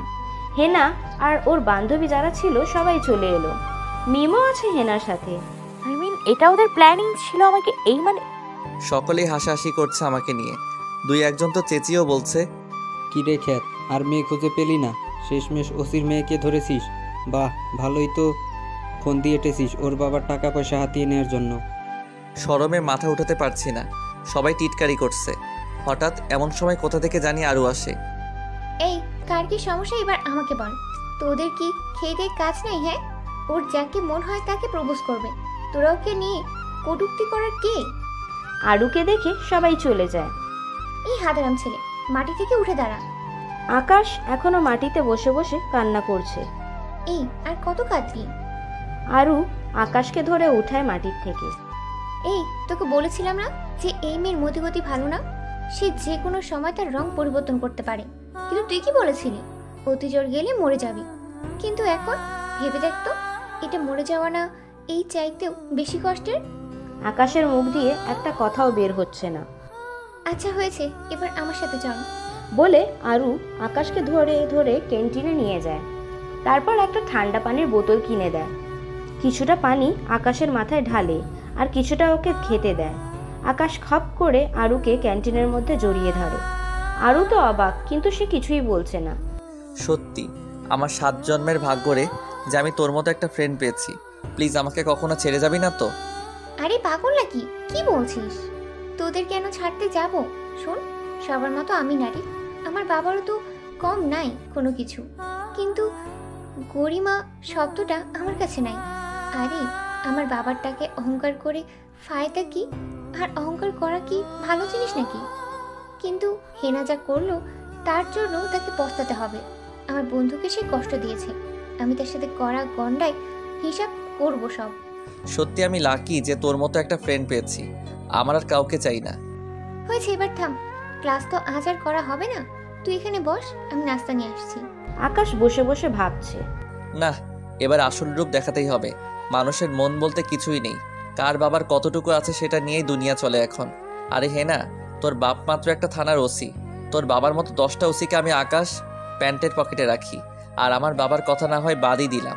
আর একটু ধৈর্য ধরো, তারপর বুঝতে পারবে এই ছেঁচড়া খ্যাত আকাশ মাহমুদকে আরু নাস্তা নিয়ে আসে। আকাশের খাওয়ার কোনো ইচ্ছা নাই, কিন্তু আরুর জোড়াজোড়িতে খেতে হচ্ছে। আর মরার তিশান একদিন ক্লাসে আসলে দশ দিন আসে না। কি ভাবে যে ওরা কি করবে আল্লাহ জানে। আচ্ছা দোস্ত হেনা এমনটা কেন করল? ছোট একটা কারণে সে আমাকে এত বড় শাস্তি দিল। শোন ওদের কাছে ছোট বড় নাই। বাবার টাকা আছে দেখে নিজেকে অ্যালেট ক্লাস মনে করে। আর বাকি সবাই খ্যাত। আর সেই তোকে কখনোই ভালোবাসেনি। সে তোকে মুরগা বানিয়েছে প্রতিশোধ নেওয়ার জন্য। এটাই মুখ্য কারণ। এটা আমি অনেক আগেই বুঝেছি কিন্তু কিছু বলিনি। কারণ তুই আমায় খারাপ ভাববি। দোস্ত আমি এখন কি করব। কি করবি জানিস না? অপমানের প্রতিশোধ নিবি। যেমন কুকুর তেমন মুগুর। আরও কি বলিস? ওর বাবা থানার ওসি। আর তার চেয়ে বড় কথা ওর থেকে অপমানের প্রতিশোধ কীভাবে নিব? তাহলে শোন মেয়েদের মন করাতে তুই মিনিটও লাগে না রে। সে তোকে যতই ফেক লাভ করুক না কেন এখন তুই তাকে রিয়েলাইজ করাবি দূর থেকে। সেটা আবার কীভাবে? শোন ওকে এক কথায় জেলাস করাবি। সে যখন দেখবে তুই অন্যের সাথে রিলেশন করছিস তখন তার ভিতরে নাড়া দিয়ে উঠবে। আর সে তো তোকে সহ্য করতে পারে না। তাহলে তুই যে রিলেশন করছিস সেটা যদি সে জানে তাহলে বুঝ ওর কতটা ফাটবে। সবই ঠিক আছে কিন্তু আমার সাথে রিলেশন কে করবে? কেন? আমি করব। আরে কি বলছিস কি উল্টোপাল্টা? আরে এত সেন্টি খাচ্ছিস কেন? রিয়েল তো করব না জাস্ট ওকে বাজানোর জন্য করব। দেখিস ওর কতটা ফাটে। আর শোন তুই দুই তিন দিন কলেজে আসবি না তারপর আমরা আমাদের রোল প্লে করব। ওকে তাহলে? সেদিন তারপর দুজন দুজনের মতো বাসায় চলে যায়। সময় কাটতে থাকে, আকাশ টানা এক সপ্তাহ কলেজে যায় না। এদিকে হেনার কেন জানি খুব খারাপ লাগছে, তাকে যেন খুব মিস করছে। সব সময় হতাশাগ্রস্ত হয়ে থাকে সে। কোনো কিছুতেই যেন আগের মতো সে শান্তি নাই। সে রাতের বেলায় শুয়ে শুয়ে ভাবছে যে আকাশকে সেদিন এইভাবে অপমান না করলেও পারত। সেটা যেমনই হোক না, মনটা অনেক ভালো। সেদিন যখন কেউ বন্ধু বানায়নি, আরও তিশান সবাই বলেছে আমি ওর বিপদ ডেকে আনব, কিন্তু সে বলেছে অতিজোর গেলে মরে যাবে। তাও সে আমাকে ওদের মতো ফিরিয়ে দেয়নি। তোর কী সব ভাবছি আমি? আমার মাথা একদম নষ্ট হয়ে গেছে। ওই খ্যাত ছেলেটার জন্য? না, ছেলেটার কাছেই মাফ চাওয়া উচিত। কিন্তু ছেলেটা তো আজ এক সপ্তাহ ক্লাসে আসে না। ওর কাছে মাফ চাইব কীভাবে? না, কাল দেখি কলেজে আসে কিনা। হেনা সকালে উঠে নাস্তা করতে, করে আগে ভাগে কলেজে চলে যায়। আরুর প্ল্যান মোতাবেক আজ আকাশ ও কলেজে যায়। সবাই আকাশকে বাঁকা চোখে দেখছে। আরু আর আকাশ দুজনে এক জায়গায় বসে আছে, ক্লাসের একটা ঘণ্টা খানিক বাকি। এদিকে হেনা কার কাছ থেকে যেন জানতে পারে, আকাশ এসেছে কলেজে। সে আকাশের খোঁজ করতে করতে এসে দেখে আকাশ আর আরু একটা গাছের নিচে বসে আছে। আকাশের কাঁধের মধ্যে আরু মাথা হেলান দিয়ে রেখেছে। আরু লক্ষ্য করে যে হেনা ওদেরকে খেয়াল করছে। আরুও অভিনয় শুরু করে। কলিজা তোমাকে ওই হেনা কথা শুনিয়েছে অপমান করেছে কিন্তু আমি কখনো তোমার সাথে এমনটা করব না কারণ আমি তোমায় খুব ভালোবাসি। হেনার তো রাগে মেজাজ খারাপ হয়ে যাচ্ছে। শালা শাকচুন্নি তুই ভালোবাসলেই কি হবে নাকি? আকাশও তোকে ভালোবাসতে হবে। আর তোর যা খুশি কর কিন্তু আমার নামটা কেন বেছে খাচ্ছিস আকাশের তো আগা মাথা কিছুই বুঝে আসছে না। আরও কি পাগল হয়ে গেল নাকি? হেনা রাগে গজগজ করতে করতে সেখান থেকে চলে যায়। আরে পাগল হেনা এসেছিল। ও বুঝেছি। হেনার মাথা তো ফুল গরম ক্লাস না করেই বাসায় চলে যায়। শালা লুচ্ছা পোলা তোরা যা করবি কর তাতে আমার কি? এভাবেই দিন কাটতে থাকে। আকাশ আর আরু এমন অভিনয় করে যে তারা দুজন লাভার অন্যদিকে হেনা তো দিন দিন পাগল হয়ে যেতে থাকে। আকাশ আর আরুকে একসাথে দেখে হেনাকে দেখলেই দুজনের অভিনয় শুরু। হেনার শুরুতে শুরুতে খারাপ না লাগলেও পরে হেনা দুর্বল হয়ে পড়ে আকাশের প্রতি। আরুর সাথে আকাশকে দেখলে তার ভিতরে কেন জানি মোচড় দিয়ে ওঠে। হেনা বুঝে উঠতে পারছে না সে কি করবে। খ্যাত ছেলেটার জন্য তার ভিতরটা কুকড়ে যাচ্ছে। হয়তো সে আকাশকে ভালোবেসে ফেলেছে। আকাশের সাথে আরুকে সে যেন একদম সহ্য করতে পারে না। না, আকাশ শুধু আমার আর কারোর না। কিন্তু আরু আর আকাশের ঘনিষ্ঠতা দেখে হেনার কেন জানি মনে হয় ওদের দুজনের ভিতরে প্রেমের গভীর শিখর গজিয়েছে। যা কখনো আলাদা হবে না। কিন্তু হেনাও নাচর বান্দা না। আমিও হার মানবো না। ব্যাটা যদি আমার না হয় তাহলে আর কারোর হতে দিব না ওকে। মেরে ফেলব। আকাশ তো হাসতে হাসতে শেষ। তার এখন খুব শান্তি লাগছে। ভিতর থেকে সেই শান্তিটা অনুভব করছে অপমানের প্রতিশোধ নিয়ে। তা কখনো বলে বোঝানো যাবে না। তবে সে লক্ষ্য করেছে যে হেনা তার কাছে আবার ফিরে আসতে চায়। কারণ হেনার চোখের চাহনি দেখলেই বোঝা যায়। কিন্তু সে আর কখনোই ফেরাবে না এবং সে নিজেও পড়বে না এই ছলনাময়ীর সাথে। যাই হোক, ভালোবাসা হয় না। হেনা মনে মনে ঠিক করে আকাশকে সে খতম করে দিবে। সে শহরের নামকরা কিলার যে আছে তার কাছে কন্ট্রাক্ট দেয় আকাশকে মেরে ফেলার। ফকিন্নি খ্যাত, এবার যাবি কই? তুই আমার ভালোবাসার যোগ্য না। কিন্তু তোকে নিয়ে মনের মধ্যে একটা সংশয় কাজ করে। তাই তোকে খতম করে দিব। আর এতদিন মানসিক অনেক অত্যাচার করেছিস তোরা। দুইটা আমাকে। তোদের ঘনিষ্ঠতা আমার দুই চোখের বিষ। তুই কি মনে করেছিস? তোকে আমি ছেড়ে দিব? বলেই পৈচাসিক একটা হাসি দেয়। পরের দিন সকালবেলা আকাশ রেডি হয়ে কলেজে আসে। ঘণ্টা পরে গেছে, তাই সবাই ক্লাস করছে। এমন সময় দশ থেকে পনেরোটা গাড়ি আসে, যারা সব কয়টার মধ্যে ছেলে ভর্তি। সবার হাতেই চাকু চেন ছুরি বিভিন্ন ধারালো অস্ত্র। ওরা এসেই কলেজে ভাঙচুর শুরু করে। এই আকাশ মোহাম্মদকে? হেনা তো সেই খুশি। আকাশ এবার যাবি কই? তোর জম এসে গেছে। তোকে এবার মেরে কুচি কুচি করবে। সবাই তো ভয়ে শেষ। যাকে সামনে পাচ্ছে সবাইকে মারধর করছে। এই বল আকাশকে? ছেলে একটা দেখিয়ে দেয় আকাশের ক্লাসরুমটা। ওই যে ওই দিকে সে আছে। প্লিজ আমায় ছেড়ে দিন। লিডার যে ছিল সে অর্ডার করে এই তোরা যা ব্যাটাকে তুলে নিয়ে আয়। দুইজনকে পাঠায় আকাশকে তুলে আনার জন্য। আকাশের মুখে মাস্ক লাগানো আরুর তো চোখে পানি চলে আসে। মনে হয় সে এখনই কান্না করে দেবে। ছেলে দুইটা আকাশকে তুলে নিয়ে যায়। ভাই এই যে মালটারে তুলে নিয়ে আসছি। লিডার অর্ডার করে সবাই ইচ্ছে তরফে মার ওকে। মারতে মারতে ওকে মেরেই ফেলবি একদম। সবাই আকাশকে মারতে শুরু করে। সবাই দাঁড়িয়ে দাঁড়িয়ে সিনেমা দেখছে কিন্তু কেউ সাহায্যের জন্য এগিয়ে যাচ্ছে না। সবাই ইচ্ছা তরফে মারতেছে আকাশকে। হঠাৎ আকাশের মুখ দেখে মাস্কটা খুলে যায়। লিডার আকাশের চেহারাটা দেখে আকাশ ভাই বলে চিৎকার দিয়ে মাটিতে ঝুঁকে পড়ে। আকাশ ভাই। আকাশ বলে চিৎকার দিয়ে মাটিতে ঝুঁকে পড়ে। আরু কান্না করতেছে আকাশকে ছেড়ে দেওয়ার জন্য কিন্তু কেউ শুনছে না ওর কথা। অন্যদিকে হেনা তো সেই মজা পাচ্ছে। ব্যাটা তুই আমার না হলে কারোর হতে দিব না। আকাশের নাক মুখ দিয়ে রক্ত পড়তেছে। লিডারটা দৌড়ে এসে আকাশের পায়ে পড়ে যায়। ভাই আমাকে মাফ করে দিন। ভাই বিশ্বাস করেন এটা যে আপনি আমি কখনোই জানতাম না। আমার অনেক বড় ভুল হয়ে গেছে। আপনার পায়ে পড়ে ভাই এবারের মতো ক্ষমা করে দিন। আমি জানি একটু পরে হয়তো আমার লাশ পড়ে থাকবে কলেজের মাটিতে। কিন্তু ভাই বিশ্বাস করেন আমি না জেনে ভুল করেছি। সবাই তো অবাক কি হচ্ছে এইসব? আকাশ তো হিংস্র পশুর মতো হয়ে গেছে। এমন সময় মুন্না আর পল্লব কোথার থেকে যেন হুট করে চলে আসে সাথে আরও বিশাল একটা গ্যাং। আকাশ পাটা সরিয়ে নিয়ে মুন্নাকে ডাক দেন এই মুন্না হকিটা দে। মুন্না গাড়ি থেকে হকিটা বের করে আকাশের হাতে দেন আকাশ তো এলো পাথারি মারতে শুরু করে। যারা যারা আকাশকে মেরেছে সব কয়টাকে মেরে মাটিতে শুইয়ে দিয়েছে। মুন্না দৌড়ে এসে রকির থোবড়া বরাবর সজোরে একটা লাথি মারে। কুত্তার বাচ্চা তোর এত বড় সাহস? তুই আমার ভাইয়ের গায়ে হাত দিছিস? তুই শহরে মাস্তান হয়েছিস তো কি হয়েছে? ভাইকে সেটা কি তুই ভুলে গেছিস? আজ ভাই ভালো হয়ে গেছে, সব ছেড়ে দিয়েছে। তাই বলে তোরা ভাইয়ের সুযোগটা কাজে লাগালি? হেনার তো চোখ বড় বড় হয়ে আছে। কি হচ্ছে? কিছুই তার মাথার ভেতরে ঢুকছে না। কিসের ভাইয়ের কথা বলছে ওরা? আর আকাশ মাহমুদ আসলেই কে? হাজারটা প্রশ্ন তার মাথার মধ্যে ঘুরপাক খাচ্ছে। কলেজের সবার তো হুশ যেন উড়ে গেছে। কারণ যেই ছেলেকে সবাই খ্যাত ছোট লোক বলে টিটকারি করতো তাকে সবাই ভাই ভাই করছে কেন? আর লিডারটা ওর পায়ে ধরে মাফ চাচ্ছে কেন? এই মুন্না ছেড়ে দে রকিকে। মুন্না তো পাগল হয়ে গেছে পুরো। আকাশ ভাইয়ের গায়ে এই দুই টাকার রকি মাস্তান হাত দিয়েছে? মুন্না তো কোনো মতেই নিজেকে শান্ত করতে পারছে না তাও আকাশের কথায় সে শান্ত হয়ে যায়। এই রকি তোকে কে কন্ট্যাক্ট দিয়েছে? ওকে বুঝেছি আমি।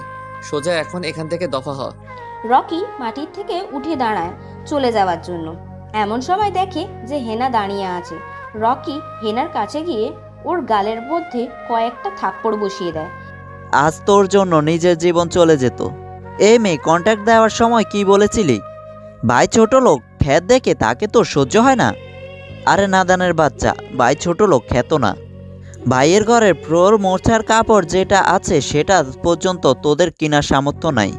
ভাইকে জানিস, এই শহরের most popular top businessman Yakub সাহেবের ছেলে আর ভাইয়ের আরেকটা পরিচয় আছে। এই শহরের যতগুলা নামকরা মাস্তান আছে সবগুলার বাপ সে।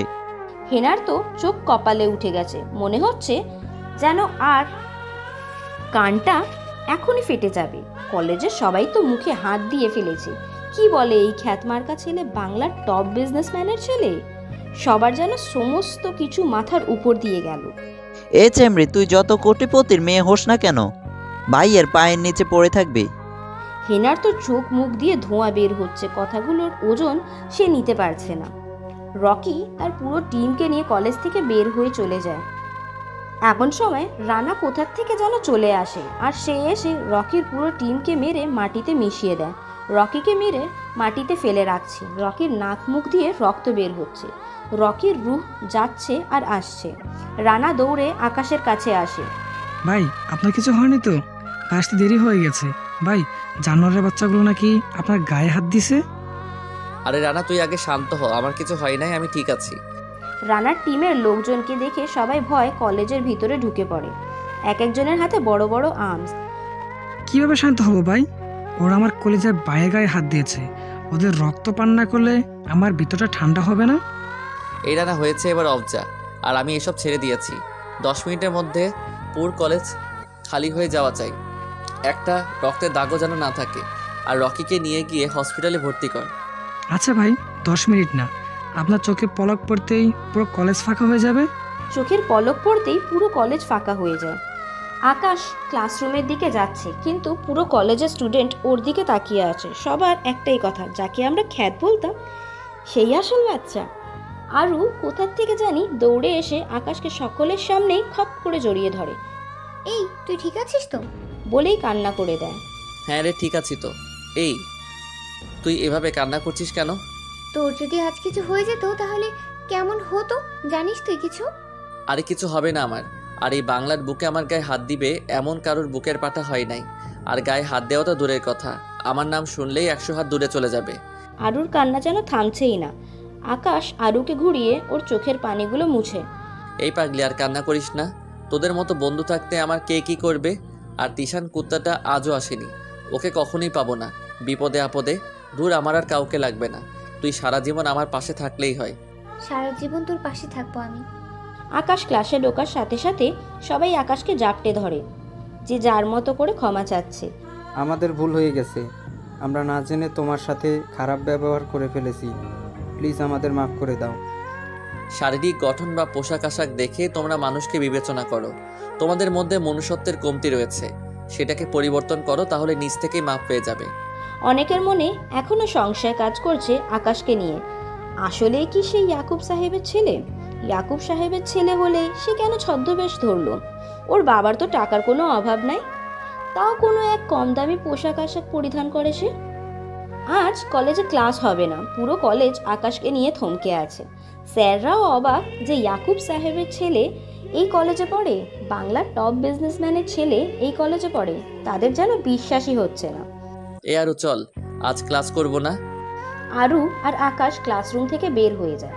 ক্লাস থেকে বের হতেই কলেজের গেটের সামনে দশ থেকে পনেরোটা গাড়ি হাজির। গাড়িগুলো যেমন তেমন গাড়ি নয়, দুনিয়ার যত নামি দামি ব্র্যান্ড আছে, সবগুলো গাড়িই আছে। মার্সিটিজ ল্যাম্বোগিনি সবাই তো গাড়িগুলোর দিকে হাঁ হয়ে তাকিয়ে আছে। ওরা নিজের সচক্ষে এখনও এমন গাড়ি দেখবে কি না কোনোদিন নিশ্চয়তা নাই। আকাশ মার্সিটিজের দরজা খুলে ভিতরে বসে যায়, সাথে আরুও আছে। সবার কনফিউশন দূর হয়ে গেছে যে আকাশ মাহমুদ কি। এদিকে সবাই তো কানাফোসা করছে, আকাশ মাহমুদের এত বড় লোকের ছেলে। কিন্তু হেনা কলেজের কোনো এক কোনায় বসে বসে চোখের পানি ঝরাচ্ছে। সে নিজেকে ধিৎকার দিতে চায় থাকে। ছি হেনা, তুই নিজেকে কোটিপতি আর মডার্ন মনে করতি। তুই নিজেকে এলিট ক্লাস দাবি করতি। আজ দেখ তোর পরিণতি। তুই যাকে ছোট লোক আর খ্যাত বলতি, ওর বাসার কাজের লোকও তোর থেকে মডার্ন আর যোগ্যতাশীল। ছি হেনা, কীভাবে পারলি এমন একটা ছেলের মন নিয়ে খেলা করতে? সে এত বড় মাপের একজন মানুষ হওয়ার পরেও নিজের টাকার আর নিজের পজিশন নিয়ে অহংকার করেনি।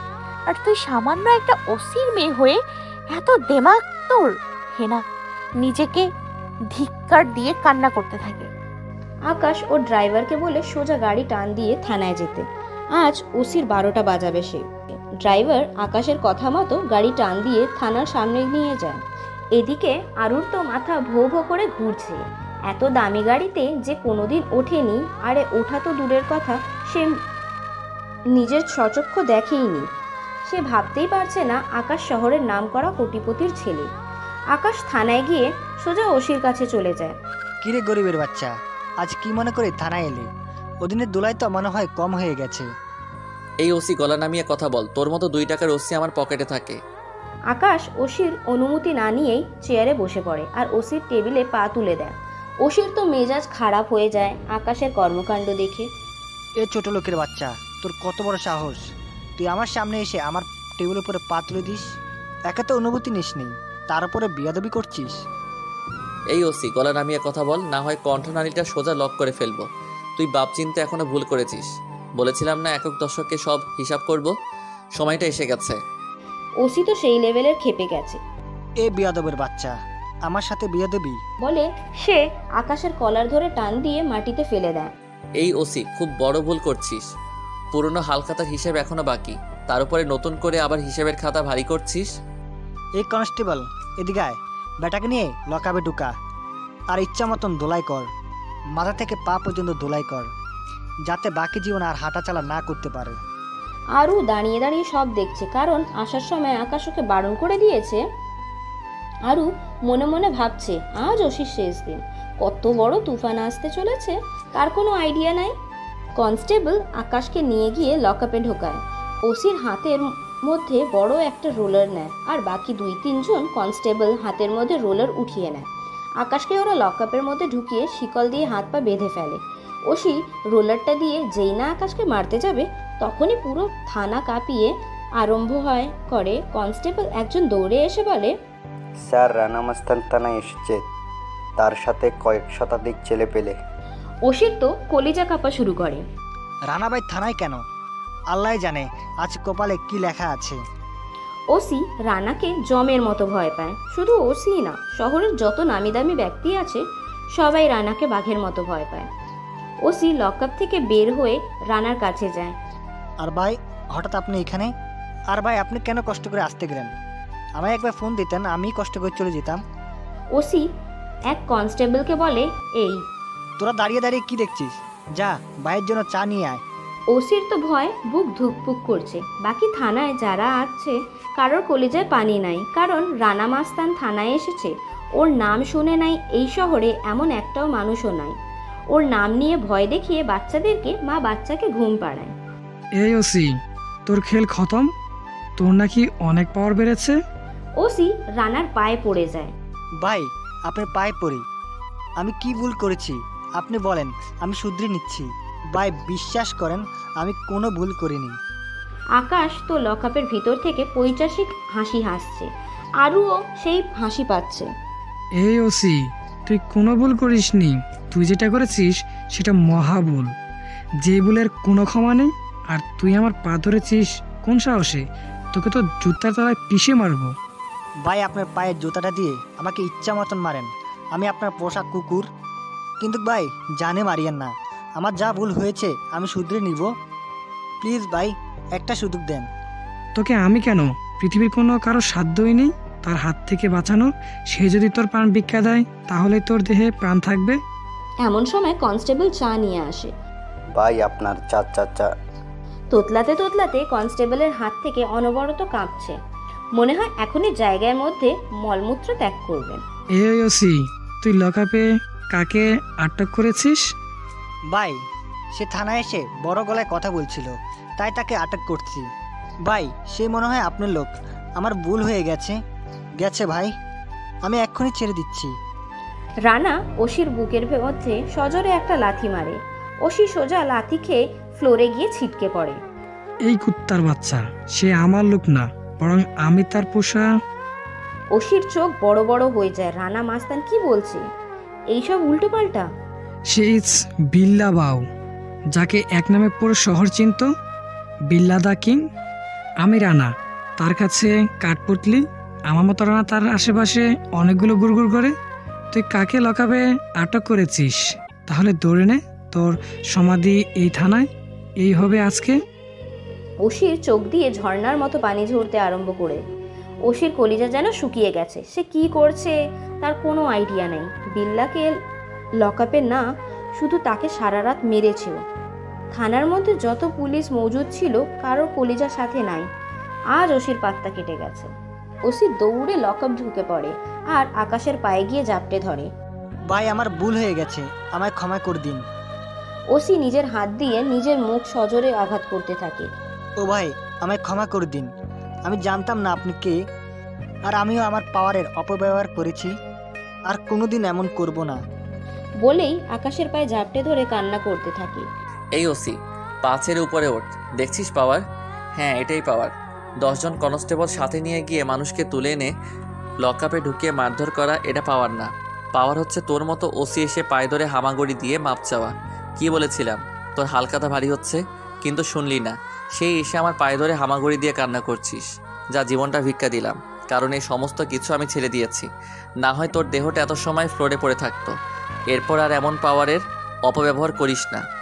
ভাই আমার জীবন থাকতে আর কোনোদিন এমন ধারা করব না। এরা না চল। তারপর সবাই বাসায় চলে যায়। কনস্টেবল একজন ওসির উপর গরম হয়ে যায়। ওই ওসি শোন এটা হচ্ছে মনুষ্যত্ব। তোর মধ্যে কোনো মনুষ্যত্বই নাই। ওসি যেমন পাগল হয়ে গেছে তার মধ্যে কোনো হিতাহিত গান জ্ঞান নেই। আকাশ বাসায় এসে পড়ে সাথে আরুকেও নিয়ে আসে। আকাশ তুই এত বড় মাপের একজন হওয়ার পরেও এমন নর্মাল হয়ে থাকিস কেন রে? বেশভূষাতে কি আছে? খালি অহংকার এটাই তো। শোন অহংকার আমার দুই চোখের শত্রু। আসলে রে তুই মহান একজন মানুষ। তোর মতো একজন মানুষকে জীবন সঙ্গী করে পেতাম জীবনটা সুন্দর হয়ে যেত। কেন করে নে বারণ করেছে কে?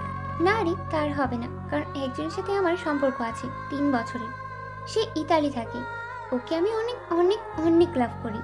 আর তার চেয়ে বড় কথা, তোকে আমি বন্ধু ভাবি, আকাশ। তোর পাশে এইভাবেই সারা জীবন থাকতে চাই। আর যদি তাকে ছেড়ে দিই, তোর সাথে জীবনের সূত্রপাত করি, তাহলে এটা স্বার্থের লোভ ছাড়া আর কিছুই হবে না। যাক, তোরা ভালো থাক, এটাই দোয়া। আর শোন, তোকে নিয়ে আমার মনে এমন কোনো ফিলিংস নাই কারণ তুই একটা ভালো মানুষ। তোর মতো ভালো চরিত্রের অধিকারী হতে হলে আমায় আরও সাতবার জন্ম নিতে হবে। সারা জীবন তোর পাশে এইভাবে বন্ধ হয়ে থাকতে চাই। আকাশ তুই নিজেকে যাই ভাবিস না কেন? তুই আসলে অনেক ভালো। যেটা আমি জানি। আচ্ছা শোন আজ যেতে হবে রে। অনেকটা সময় হয়ে গিয়েছে। আচ্ছা যা কাল কলেজে গেলে দেখা হবে। আর শোন ড্রাইভার তোকে বাসা পর্যন্ত একদম এগিয়ে দিয়ে আসবে। বাসায় পৌঁছে আমায় ফোন করিস। আচ্ছা তারপর চলে যায় আকাশ। এখন দুনিয়ার সব চাইতে হ্যাপি একটা মানুষ, কারণ সে নিজেকে বদলাতে শিখে গেছে। তার মধ্যে এখন কোনো হিংস্রতা নাই। তার চাইতে বড় কথা, তার জীবনে আরু নামের একটা ভালো বন্ধু পেয়েছে। পরের দিন সকালবেলা রেডি হয়ে কলেজে চলে যায়। আজ একদম পুরো ভিন্ন গেটআপে ল্যাম্বরগিনিটা নিয়ে এসে নিজে ড্রাইভ করে কলেজের সামনে পার্ক করে। তারপর সে ভিতর থেকে নেমে আসে। পুরো কলেজে সবাই গাড়িটার দিকে হাঁ হয়ে তাকিয়ে আছে। আকাশকে দেখে সবাই তো অবাক। এক কথায় রাজপুত্রের মতো লাগছে। ওকে দেখে কেউ চোখ ফিরাতে পারছে না। এমন সময় কেউ পিছন থেকে এসে আকাশকে শক্ত করে জড়িয়ে ধরে আকাশের ঘাড়ের মধ্যে কয়েকটা চুমু বসিয়ে দেয়। আকাশ আজ একদম পুরো ভিন্ন গেটাপে ল্যাম্বারঘিনিটা নিয়ে সে নিজে ড্রাইভ করে কলেজের সামনে গিয়ে পার্ক করে। তারপর সে গাড়িটার ভিতর থেকে নেমে আসে। পুরো কলেজের সবাই তো গাড়িটার দিকে হা করে তাকিয়ে আছে। আকাশকে দেখে তো সবাই অবাক, ওকে দেখে কেউ চোখ ফেরাতে পারছে না। এক কথায় রাজপুত্র লাগছে। এমন সময় পিছন থেকে কেউ একজন এসে আকাশকে শক্ত করে জড়িয়ে ধরে আর আকাশের ঘাড়ের মধ্যে কয়েকটা চুমো বসিয়ে দেয়।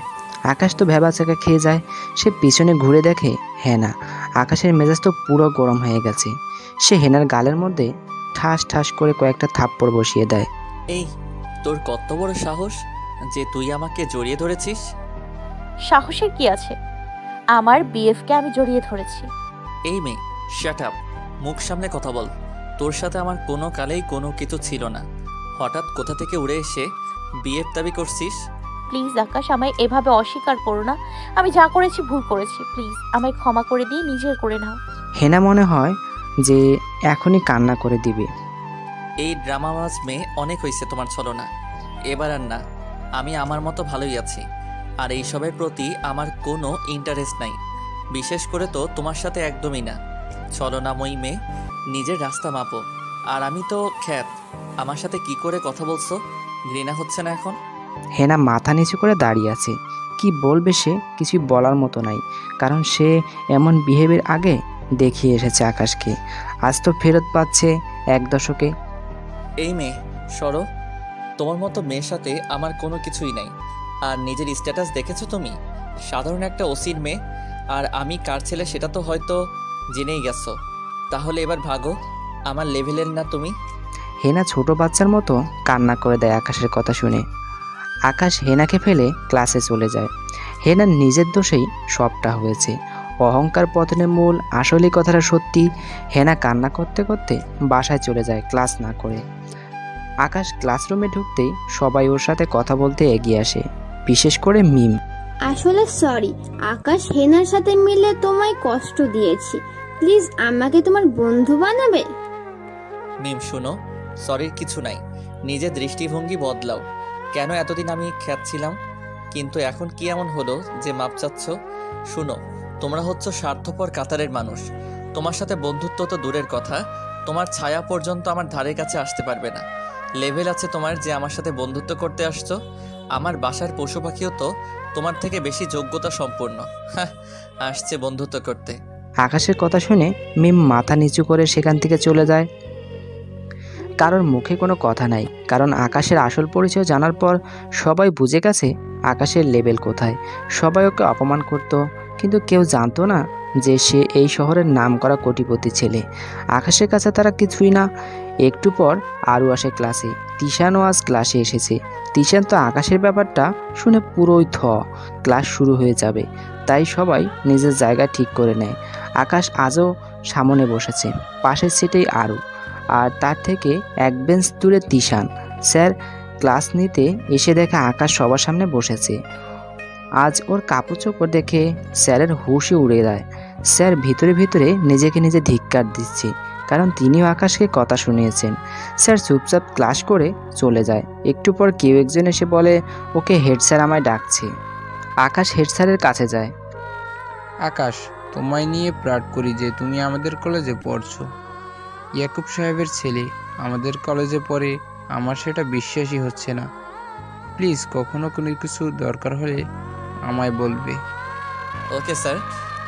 তারপর আরও কিছু কথা বলে স্যারের রুম থেকে বেরিয়ে আসে আর মনে মনে ভাবতেছে, দুনিয়ায় নিজাম পাল্টে গেছে।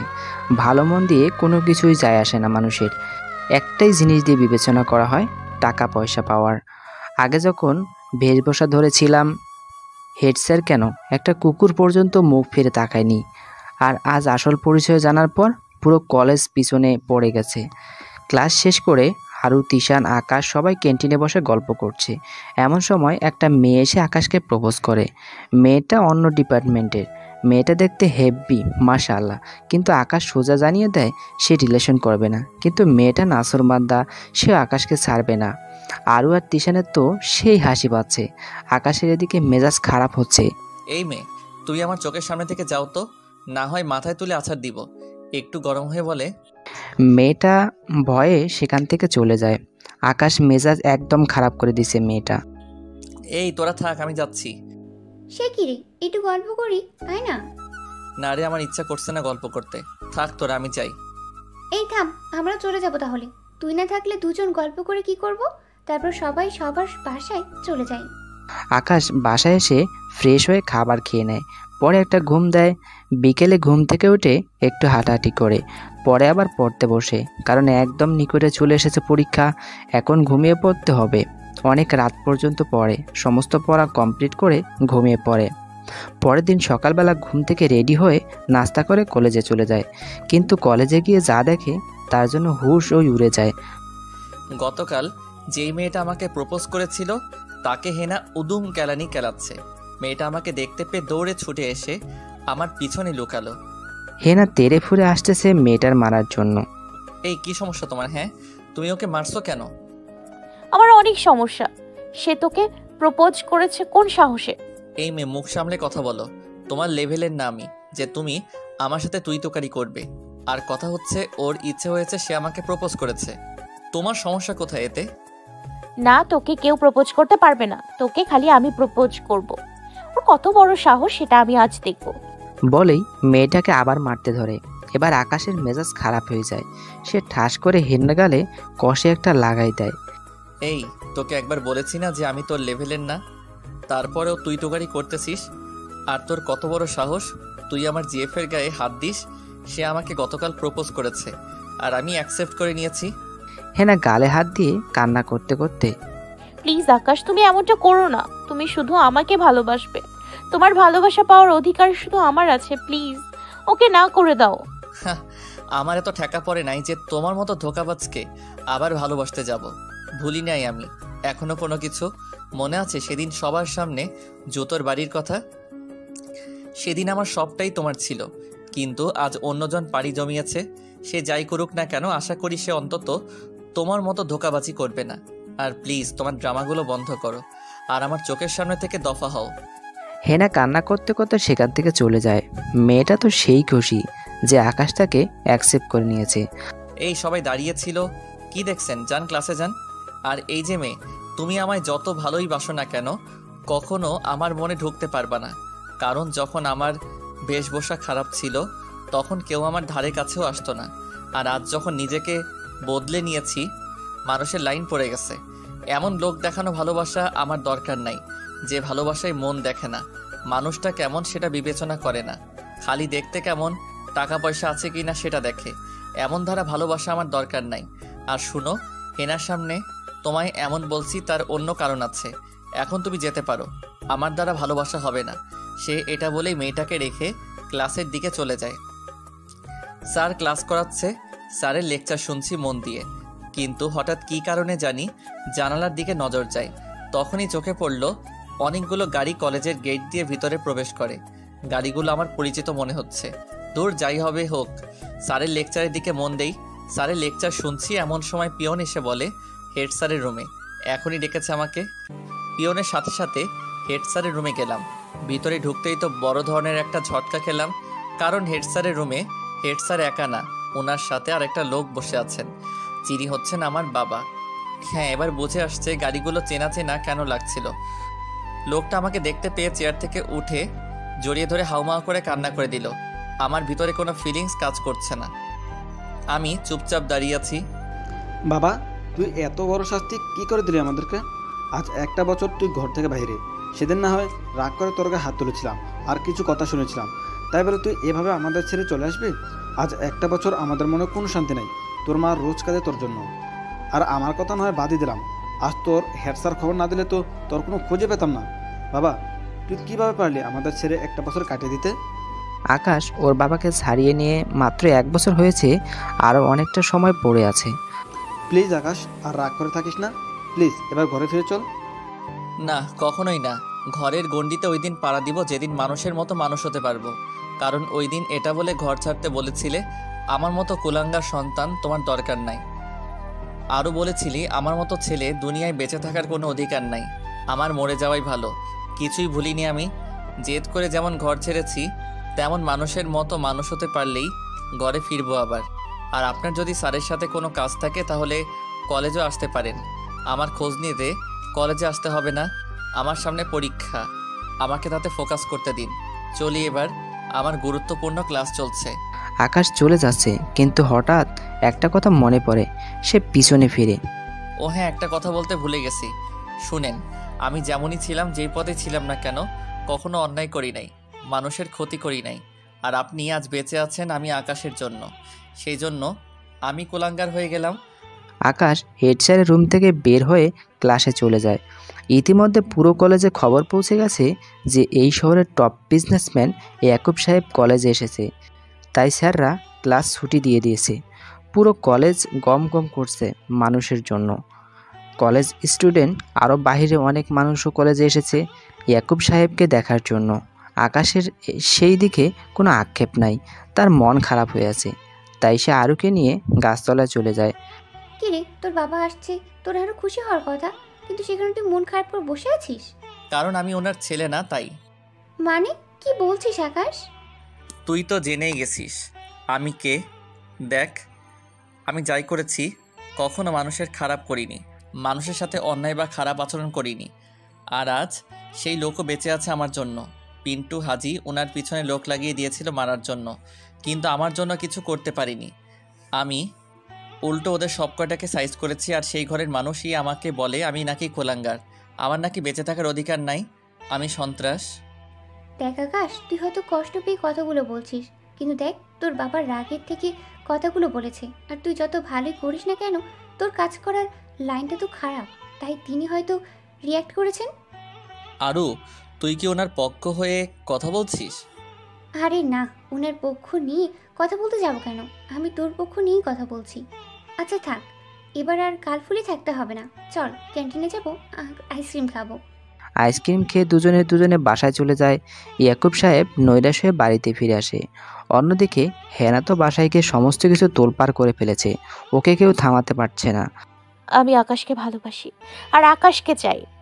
বাসায় যত কাছের শোপিস ছিল সব ভেঙে গুড়ি গুড়ি করে ফেলেছে। হেনার বাবা আই মিন ওসি মারে তুই তাকে অপমান করেছিস। আমিও তাকে অত্যাচার করেছি। এত কিছুর পরে সে তোকে মেনে নেবে? আমি জানি না।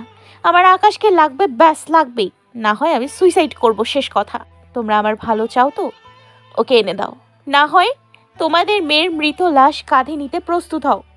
আকাশ বাসায় এসে গোসল করে খাওয়া দাওয়া শেষ করে। পরে একটু ঘুম যাবে বলে ভাবে কিন্তু তখনই অচেনা একটা নাম্বার থেকে ফোন আসে। হ্যাঁ কে বলছেন? আমি তারা ওসি বলছি। আমাকে কি কারণে ফোন করেছেন? প্লিজ বিল্লা ভাই আমার কথাটা একটু শুনেন। আমার মেয়েটা আপনাকে খুব বেশি ভালোবাসে, সে নাকি আপনাকে না পেলে সুইসাইড করবে? প্লিজ আপনি আমার মেয়েটাকে গ্রহণ করে নেন। এই ওসি মাথা পাগল হয়ে গেছে হ্যাঁ? সামান্য একটা ওসির মেয়েকে আমি বিয়ে করব? এটা কখনোই সম্ভব না। আর কে কি করবে? এত কিছু আমার দেখার সময় নাই। সুইসাইড করবে না, কি করবে? সেটা ওর ব্যাপার। আর পরের বার যদি আমার নাম্বারে ফোন আসে, তাহলে অবস্থা খারাপ করে ছেড়ে দিব। আর আমার রিলেশন আছে অন্য মেয়ের সাথে। কিছুদিন পর আমরা বিয়ে করতে যাচ্ছি। আপনার মেয়েকে বলবেন অযথা কোনো কিছু করে নিজের বিপদ ডেকে না আনতে। এতে আপনার মেয়েরই ক্ষতি হবে। বাই ভালো থাকুন। আকাশ ফোন কেটে দিয়ে ঘুমিয়ে পড়ে। বিকেলবেলা ঘুম ভাঙে কারও হাতের স্পর্শে।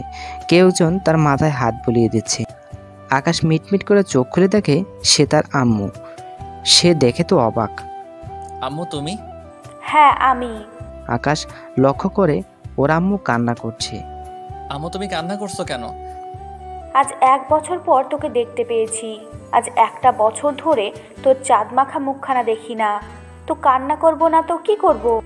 ওর আম্মুকে জড়িয়ে ধরে কান্না করে দেয়। আম্মু আমায় ক্ষমা করে দাও। আমি নিজেকে মানুষ করার জন্য ঘর ছেড়েছি কিন্তু আম্মু তুমি আমার খোঁজ পেলে কোথায়? তোর আব্বু আজ বলল তুই এখানে একটা কলেজে পড়াশুনো করিস। আর তাছাড়া তোর ড্রাইভারের সাথে আমার গতকাল দেখা হয়েছে।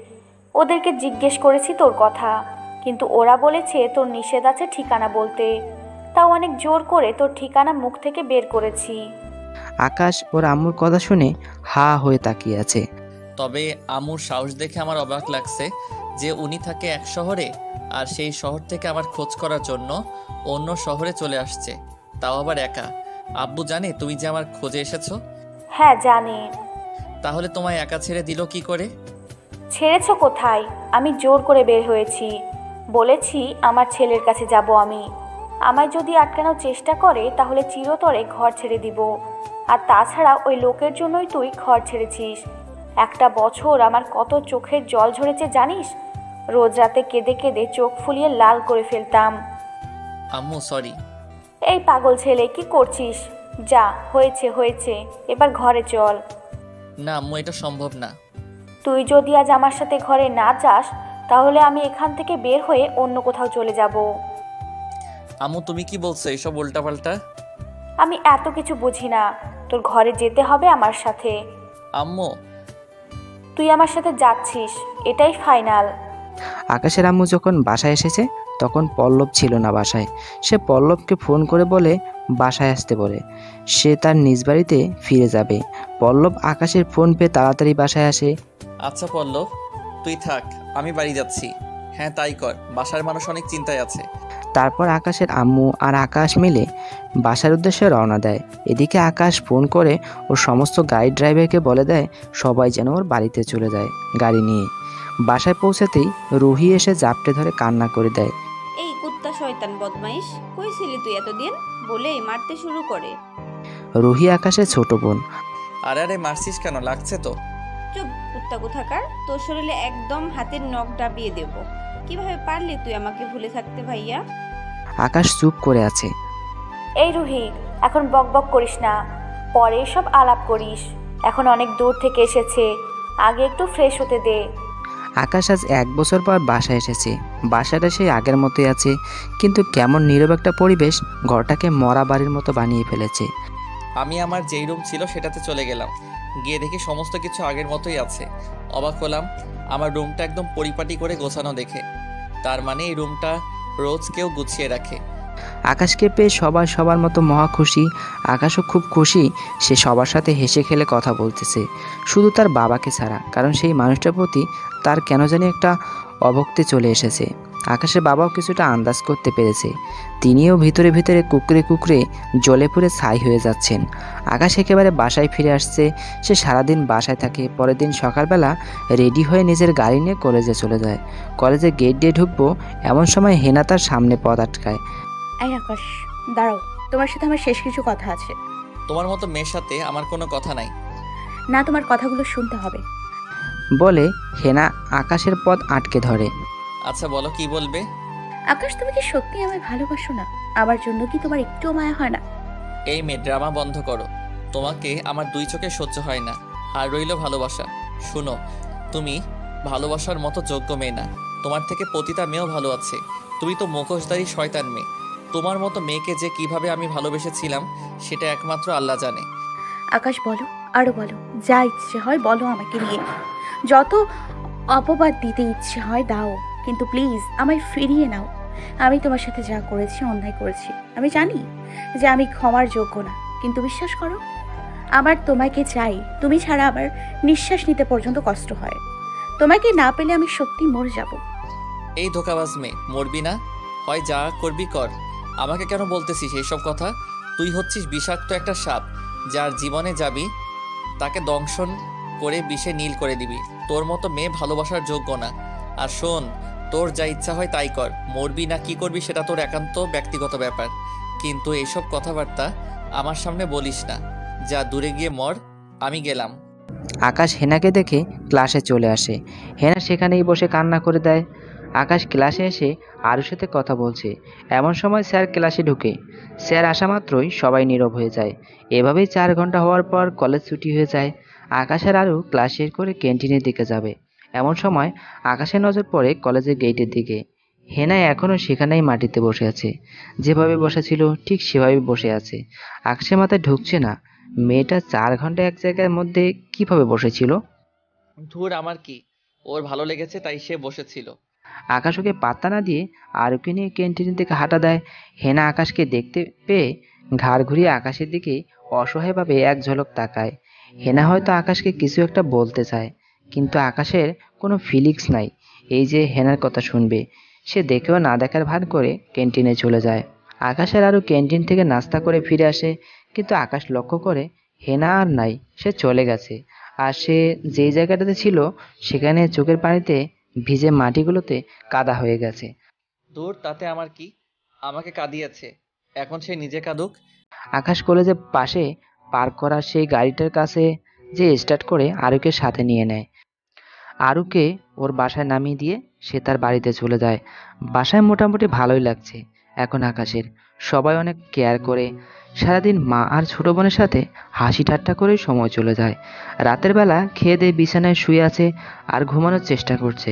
কিন্তু ঘুম কোনোভাবেই ঘুম আসতেছে না বিছানায়। বিছানায় এপাশ থেকে ওপাশ খেলে ছটপট করতেছে। ঘুম কোথায় যেন উদাও হয়ে গেছে। আকাশ চোখ বুজে শুয়ে আছে।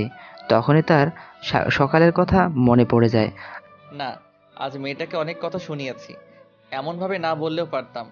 মেয়েটার চোখ মুখ দেখে কেন জানি মনে হচ্ছে, মেয়েটা আমায় সত্যি ভালোবাসে। এবার তার ভালোবাসার মধ্যে কোনো খুঁত নাই। কিন্তু কি আর করব? সে তো আমার মন নিয়ে খেলা করল। আমিও তো তাকে সত্যি ভালোবাসতাম। আর এখনও বাসি। কারণ প্রথম প্রেম কখনো ভোলা যায় না। তবে যত যাই হোক, মেয়েটাকে এইভাবে কাঁদানো আমার একদম উচিত হয়নি।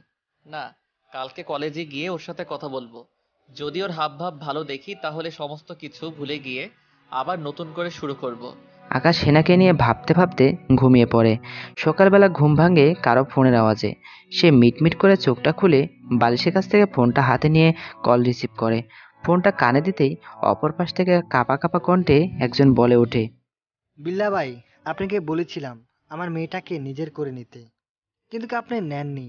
যদি নিতেন আজ আমার মেয়েটার এমন দুর্দশা হতো না। সে জীবিত থাকতো। আকাশে তো কিছুই মাথায় ঢুকছে না। এ কি বলছেন উল্টাপাল্টা আপনি? হ্যাঁ যা শুনেছেন ঠিকই শুনেছেন। গতকাল রাতে হেনা সুইসাইড করেছে। জানেন বিল্লা ভাই সে আমাকে আর তার মাকে জড়িয়ে রাতের বেলা খুব কেঁদেছিল। আর বারবার একটা কথাই বলেছিল আব্বু আম্মু তোমরা দুজনে আমাকে মাফ করে দিও। কিন্তু বিশ্বাস করুন কখনো বুঝতে পারিনি আমাদের মেয়েটা এত বড় একটা কাণ্ড করে বসবে। হেনার আব্বুর কথা শুনে আকাশ বিছানা থেকে লাফ দিয়ে উঠে বসে। আকাশে যেন দুনিয়াদারি ঘোলাটে হয়ে যাচ্ছে হেনার আব্বুর কথা শুনে। আকাশের নিঃশ্বাসটাও এখন জানি শরীর থেকে বের হয়ে যাচ্ছে। কি বলল এটা? যে হেনা সুইসাইড করেছে? আকাশ চিৎকার করে কান্না করে দেয়। না হেনা এটা করতে পারে না। সে আমায় গতকাল কিছু একটা বলতে চেয়েছিল। সে মরতে পারে না। আকাশ তাড়াতাড়ি করে শার্টটা গায়ে দিয়ে আরুকে ফোন করে। আরু হেনা নাকি সুইসাইড করেছে? জানি না আমিও এমনটা শুনলাম। তুই তাড়াতাড়ি চলে আয় দুজনে মিলে হিনের বাসায় যাব। আচ্ছা তুই দাঁড়া আমি কিছু সময়ের মধ্যে আসছি। আকাশ কোনো মতো তাড়াতাড়ি করে গাড়িটা চাবি নিয়ে ঘর থেকে বের হয়ে আসে। চোখ মুখে হতাশার ছাপ। গাড়িটা স্টার্ট দিয়ে আরুর কাছে চলে যায় তারপর দুজন মিলে হেনার বাসায় যায়। হেনার বাসার সামনে মানুষ দিয়ে ভর্তি। আকাশ যতই এগোচ্ছে ভয়ের মাত্রা ততই বাড়ছে। আল্লাহ হেনার যেন কিচ্ছু না হয়। আমি ওকে খুব ভালোবাসি। আকাশটা আস্তে আস্তে ঘরের ভিতর দিয়ে এগোতে থাকে। একটু সামনে যেতেই দেখে সাদা কাপড় মোড়ানো একটা লাশ মাটিতে শুয়ে রেখেছে। এটা দেখে আকাশের কলিজাটা মোচড় দিয়ে ওঠে। আল্লাহ হেনার কিছু হলে আমিও মরে যাব। আকাশকে দেখতে পেয়ে হেনার বাবা এগিয়ে আসে। এই যে আকাশ মাহমুদ উর্ফে ভিল্লা ভাই আমার কলিজার টুকরা মেয়েটা মাটিতে শুয়ে আছে। হেনার আব্বুর কথা শুনে আকাশের কলিজা ছিঁড়ে যাচ্ছে। ওর যেন বিশ্বাসই হচ্ছে না এটা হেনা। আমি এটা বিশ্বাস করি না হেনার কিচ্ছু হতে পারে না। আকাশ দৌড়ে গিয়ে লাশটার মুখ থেকে কাফনের কাপড়টা সরিয়ে ফেলে। আকাশ লাশটাকে দেখে সজোরে এক চিৎকার দিয়ে মাটিতে বসে পড়ে। হেনা ছোট বাচ্চার মতো ঘুমিয়ে আছে। কলিজা তুমি এটা কি করলে? আকাশ সজোরে চিৎকার করে কান্না করছে। কলিজা আজ আমি তোমার সাথে সমস্ত কিছু ঠিক করে নিতাম। কলিজা একটু ধৈর্য ধরলে না তুমি? পাগলের মতো এটা কি করে বসলে? আমি এখন কি নিয়ে বাঁচবো? কাকে কলিজা বলে ডাকবো? কে আমাকে ভালোবাসবে তোমার মতো করে? মানুষ বলতেই ভুল। তুমিও না হয় না জেনে শুনে কিছুটা ভুল করেছ। কলিজা, শাস্তি তো আমি তোমাকে দেওয়ার কথা ছিল, কিন্তু আমি যেখানে শাস্তি দেইনি, সেখানে তুমি নিজেকে নিজে শেষ করে দিলে কলিজা। বলে হেনার দেহটাকে পাঁচকোল করে জড়িয়ে ধরে কান্না শুরু করে দেয়। আরও দাঁড়িয়ে দাঁড়িয়ে দেখছে, ওর চোখ দিয়েও বৃষ্টির ফোঁটার মতো পানি ঝরে পড়ছে। আকাশের কান্না যেন ওর কলিজাকে ছিদ্র করে দিচ্ছে। একটু হেয়ালির জন্য দুটো জীবন আজ নষ্ট হয়ে যাচ্ছে। হেনা এমন ধারা কাজ করেছে আরও যেন বিশ্বাস হচ্ছে না।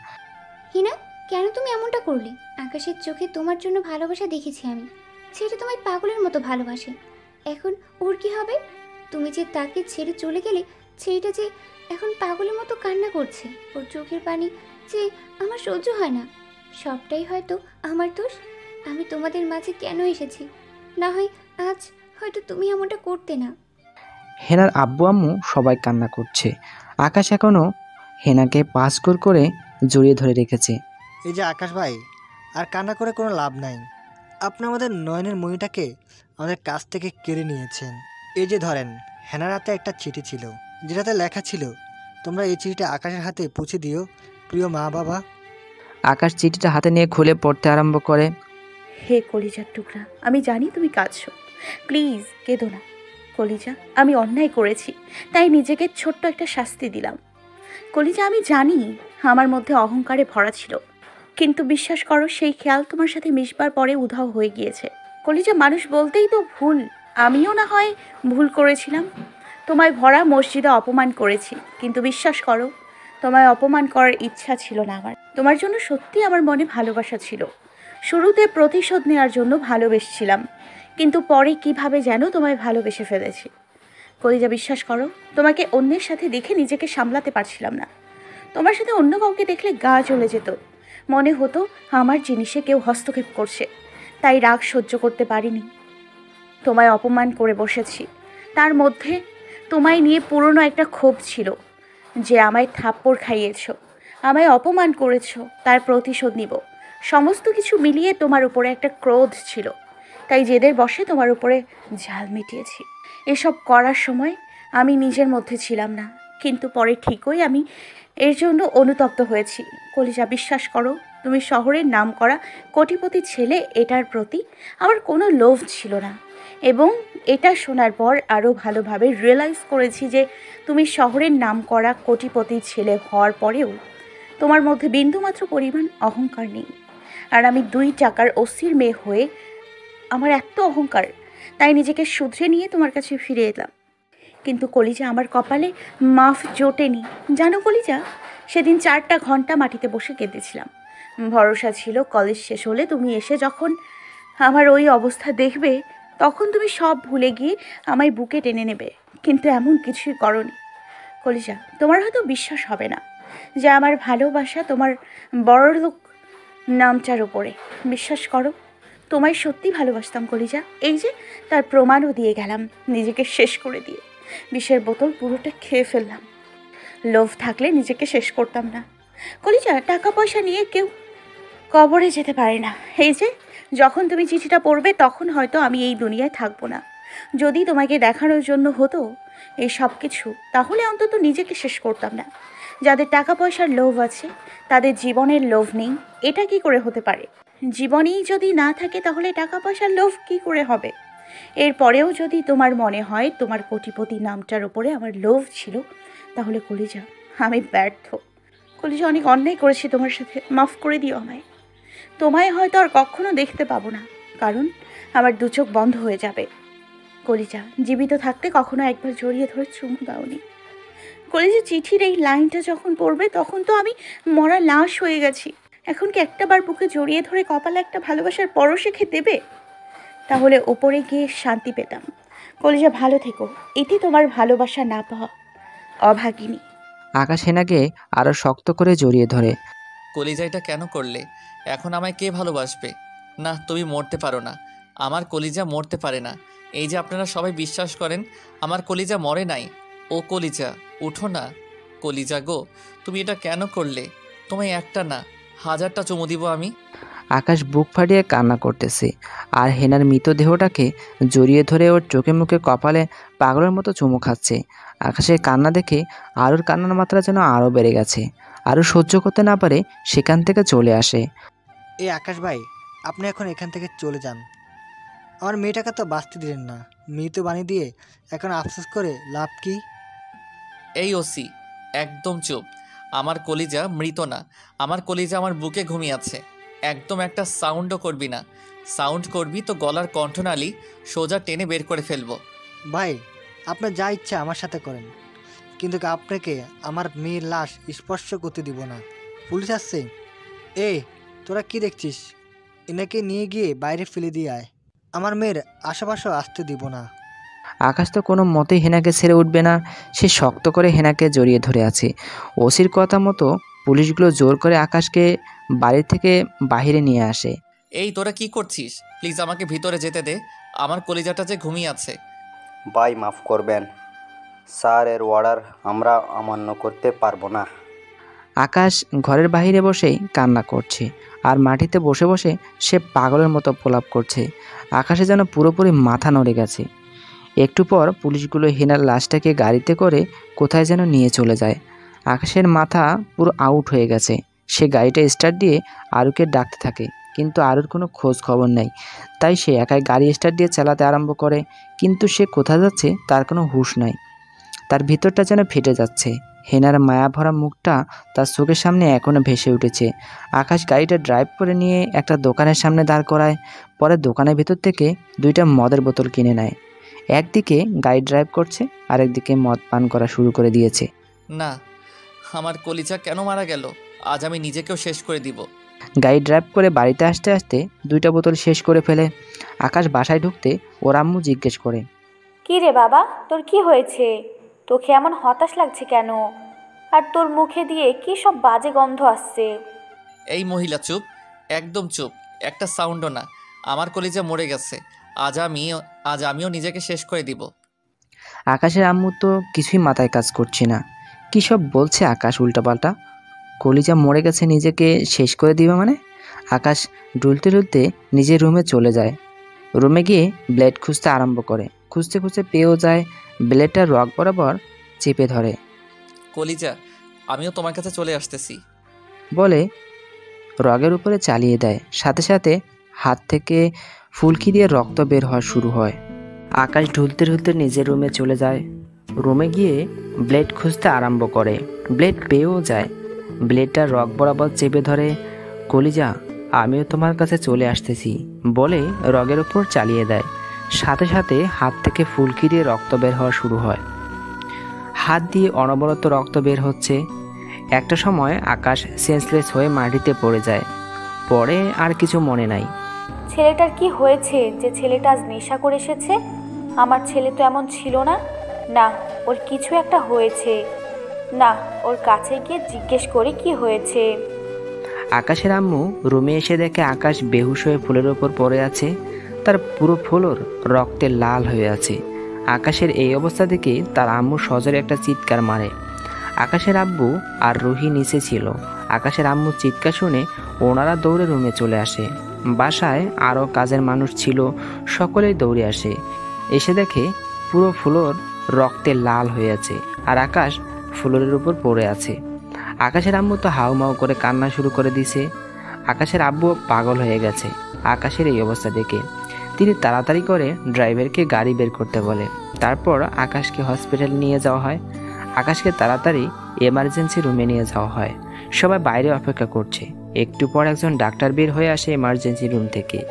দেখেন, সে রগের মধ্যে এমনভাবে ব্লেড চালিয়েছে, যার ফলে তার পুরো রগ কেটে গেছে, আর অনেক ব্লিডিংও হয়েছে। আপনারা তো জানেন, এই একটা মানুষের শরীর থেকে অতিরিক্ত রক্ত বের হওয়া, এটা কখনোই ভালো লক্ষণ নয়। তবে আমরা আমাদের সাধ্যমতো চেষ্টা করেছি। আশা রাখতে পারেন, সে এখন সেভ আছে। বাকি যদি উপরওয়ালার অন্য কোনো হুকুম থাকেন, সেটা উনিই ভালো জানেন। আচ্ছা আপনারা এখন টেনশন করিয়েন না। রোগী সুস্থ হয়ে যাবে। রোগীর এখনও জ্ঞান ফেরেনি। জ্ঞান ফিরতে একটু সময় লাগবে। তারপর আপনারা রোগীর সাথে দেখা করতে পারবেন। এটা বলে ডাক্তার চলে যায়। এদিকে আকাশের আম্মু তো রুহু বের হয়ে যাবে যাবে অবস্থা।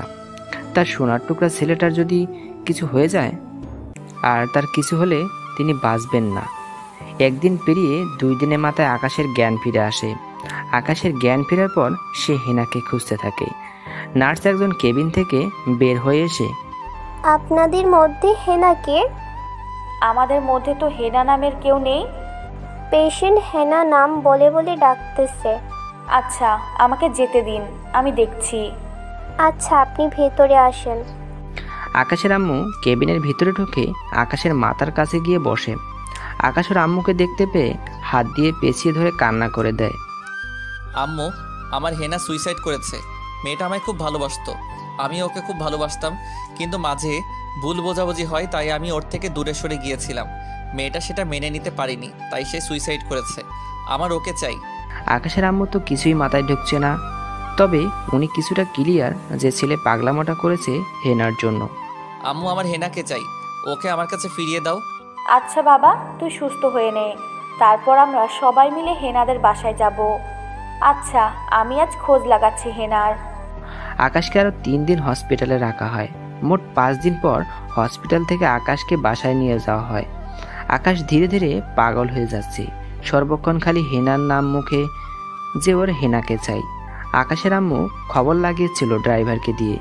ড্রাইভার খোঁজ চালিয়ে দেখে আসলেই মেয়েটা সুইসাইড করেছে। আকাশের আম্মু তো হতাশ হয়ে যায়।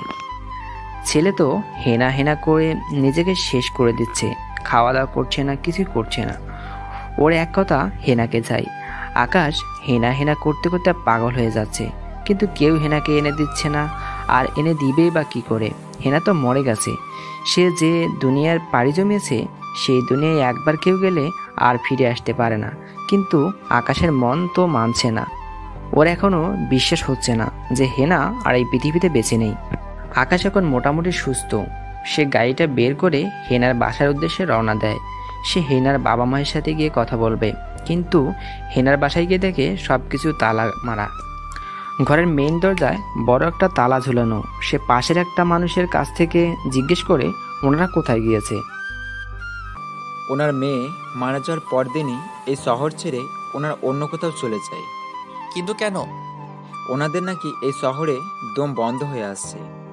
ওনার মেয়ের জন্যই নাকি ওনারা এই শহরে পোস্টিং হয়েছে? কিন্তু ওনার মেয়ে যেহেতু নাই তাহলে ওনারা এখানে থেকে কি করবেন? তাই ওনারা অন্য কোথাও পোস্টিং নিয়ে চলে গেছে। আচ্ছা আপনি কি বলতে পারবেন? ওনারা কোথায় গেছেন? না আমাদের তো বলে যাননি কোথায় যাবে। তবে এইটুকু বলেছে ওনারা এই শহর ছেড়ে দূরে কোথাও চলে যাবে। আকাশের চোখ জোড়া আবার ভিজে যাবে মনে হচ্ছে। আচ্ছা ঠিক আছে ধন্যবাদ। তারপরে আকাশ গাড়ি স্টার্ট করে বাসার দিকে রওনা দেয়। আকাশের আম্মু একটার পর একটা বারবার ফোন দিচ্ছে। ওনারা তো পাগল হয়ে গিয়েছে ছেলেটা গাড়ি নিয়ে কোথায় চলে গেল? এমনিতেই শরীর ভালো না আবার যদি কোনো দুর্ঘটনা ঘটে? আল্লাহ তুমি রক্ষা করো আমার ছেলেটাকে। আকাশের ফোন বেজেই চলেছে কিন্তু সে ইচ্ছে করেই ফোন পিক করছে না কারণ তার কিছুই ভালো লাগছে না এখন। তার একা কিছু সময় চাই। আকাশের ভেতরটা যেন ভেঙ্গে চুরে চুরমার হয়ে যাচ্ছে। হঠাৎ আকাশে আরুর কথা মনে পড়ে। আল্লাহ এতদিন ওর কথা ভুলেই গিয়েছিলাম। ফোনটা হাতে নিয়ে আরুকে ফোন দেয়। ফোন বারবার সুইচ অফ আসতে। আকাশ গাড়ি ঘুরিয়ে আরুর বাসার উদ্দেশ্যে রওনা দেয়। আরুর বাসায় গিয়ে থাকে সেম অবস্থা। আরুর বাসায়ও তালা ঝুলানো। আশেপাশের মানুষ তাকে জিজ্ঞেস করলে তারা বলে তারা নাকি কিছুই জানে না। তারা কোথায় গিয়েছে? ঘর তালা মেরে। আকাশে যেন এখন পুরো পৃথিবীটায় অন্ধকার হয়ে গেছে। এখন ওকে কে সামলাবে? হেনা ওকে ছেড়ে অন্য দুনিয়ায় পাড়ি জমিয়েছে এদিকে আরুরও কোনো খোঁজখবর পাওয়া যাচ্ছে না। আকাশের অনেক বন্ধু বান্ধবের কাছে খোঁজ লাগায় আরুর ব্যাপারে কিন্তু কেউ কিছু জানে না। সে নাকি বিগত তিন দিন ধরে ক্লাসে আসছে না। আকাশ মন খারাপ করে বাসায় চলে আসে। আকাশের আম্মু তো পাগল পাগল হয়ে গেছে। এই ছেলে কোথায় গিয়েছিলি? আকাশকে দেখতে পেয়ে আমাকে আর কত টেনশনে রাখবি বল? আকাশ কোনো জবাব দিচ্ছে না। নিজের রুমে চলে যায়। রুমে গিয়ে নীরবে কান্না করতে থাকে হেনার স্মৃতিগুলো মনে করে। কলিজা তুমি কেন আমায় ছেড়ে চলে গেলে? আমার যে খুব কষ্ট হচ্ছে তোমাকে ছাড়া থাকতে। সময়ে তোমার মূল্য দেইনি তাই বলে আজ এইভাবে পস্তাতে হবে আমাকে? আকাশের আম্মু বাহির থেকে খাওয়ার জন্য ডাকছে কিন্তু সে বারণ করে দিয়েছে খাবে না। আকাশের আম্মু অনেক করে রিকোয়েস্ট করে কিন্তু সে খাবে না। আকাশের আম্মু হতাশ হয়ে ফিরে যায়। আকাশ পুরোপুরি খাওয়া দাওয়া অফ করে দিয়েছে। সব সময় হেনার কথা মনে করে, নীরবে কান্না করে। নিজেকে সব সময় তার রুমের মধ্যেই বন্দি করে রাখে। বাহিরের আবহাওয়া যেন তার কাছে বিষাক্ত মনে হয়।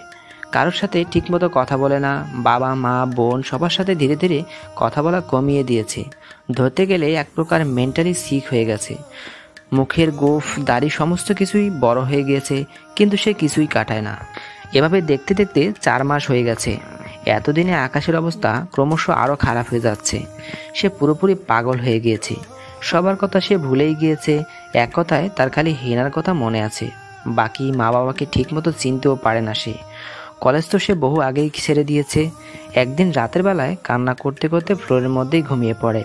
সকালবেলা কারও স্পর্শে ঘুম ভাঙে সে। অনুভব করে কেউ একজন তাকে জড়িয়ে ধরে তার উষ্ণ ঠোঁট জোড়ায় চুমু খাচ্ছে। আর নরম সুরে বলছে, এই আকাশ, আর কত ঘুমাবে? আকাশ মিটমিট করে চোখ খুলে দেখে হেনা। আকাশ লাফিয়ে শোয়া থেকে উঠে বসে। কলিজা তুমি এসে গেছো? আমি জানতাম তুমি আসবে। আমার কলিজা আমায় রেখে কখনো মরতে পারে না। আকাশ দুই হাত দিয়ে হেনাকে শক্ত করে নিজের বুকের সাথে জড়িয়ে ধরে। কলিজা কি হাল করেছ তুমি নিজের? আমি তোমায় রেখে কীভাবে মরতে পারি বলো? আমি জানি তুমি আমায় খুব ভালোবাসো। আমি যদি মরে যাই তাহলে যে আমার কলিজাটাও ভালো থাকবে না। এমন সময় আকাশের আম্মু আকাশের রুমে আসে।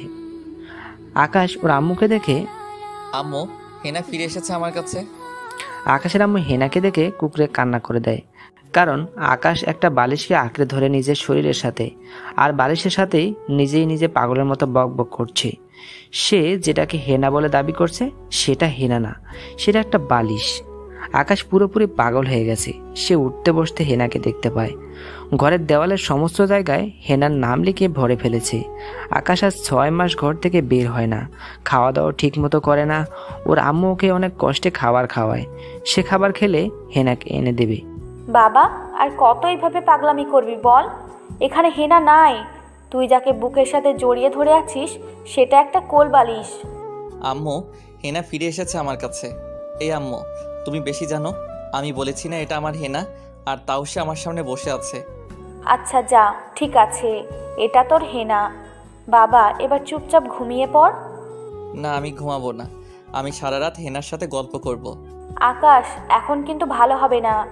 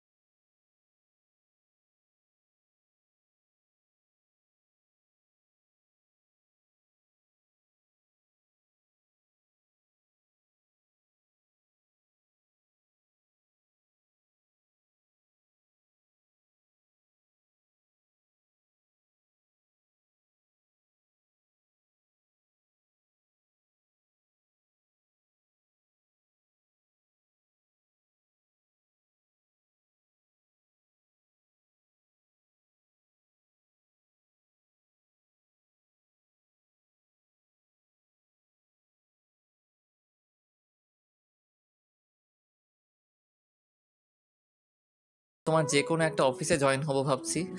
বাবা এতটা খুশি লাগছে যে তোকে বলে বোঝাতে পারব না। তোর যে অফিসে ইচ্ছে হয় জয়েন কর। কাজ করতে ইচ্ছে না করলে করবি না।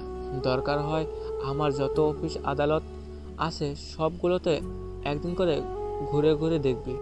কথাবার্তা বলে বাপ ছেলে দুজনেই ঘরে চলে যায়। আকাশের আম্মু তো খুশিতে কান্না করে দেয় যে তিনা ছেলে সবার আগের মতো ফিরে এসেছে। তিনি খুশিতে আকাশের গালে, কপালে অনেকগুলো চুম এঁকে দেয়। বাসায় আজ আকাশের সমস্ত পছন্দের খাবারগুলো রান্না করা হয়। পরের দিন সকালবেলা সে ঘুম থেকে উঠে গোসল করে ফ্রেশ হয়ে নেয়, কারণ আজ থেকে সে তার বাবার অফিসে জয়েন করবে। পরে নাস্তা করে রেডি হয়ে বাবা মা দুজনে পায়ে ধরে সালাম করে। পরে অফিসের উদ্দেশ্যে রওনা হয়। সবাই ফুলের তোড়া নিয়ে দাঁড়িয়ে আছে আকাশকে ওয়েলকাম করার জন্য। আকাশ অফিসে পৌঁছানোর সাথে সাথেই সবাই তাকে ফুলের তোলা দিয়ে ওয়েলকাম জানায়। পরে আকাশকে তার কেবিন দেখিয়ে দেওয়া হয়।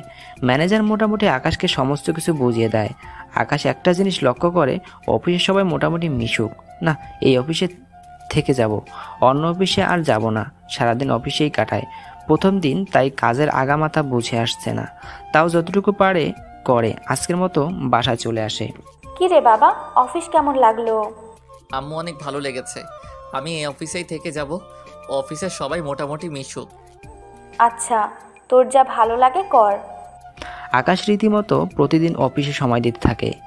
এতদিন অফিসের বস ছিল না তাই কোনো অ্যাসিস্ট্যান্টও ছিল না। আকাশ অফিসে যাওয়ার পর থেকে নুসরাত নামের একটা মেয়েকে আকাশের অ্যাসিস্ট্যান্ট নিযুক্ত করা হয়। মেয়েটা বেশ ভদ্র আসার ব্যবহারও সুন্দর নুসরাত একদিনে আকাশের সাথে ভাব জমিয়ে ফেলে। আকাশও তার দ্বিমত করেনি, কারণ সে তো আকাশের পার্সোনাল অ্যাসিস্ট্যান্ট ওকে এড়িয়ে চলে কীভাবে কাজ হবে?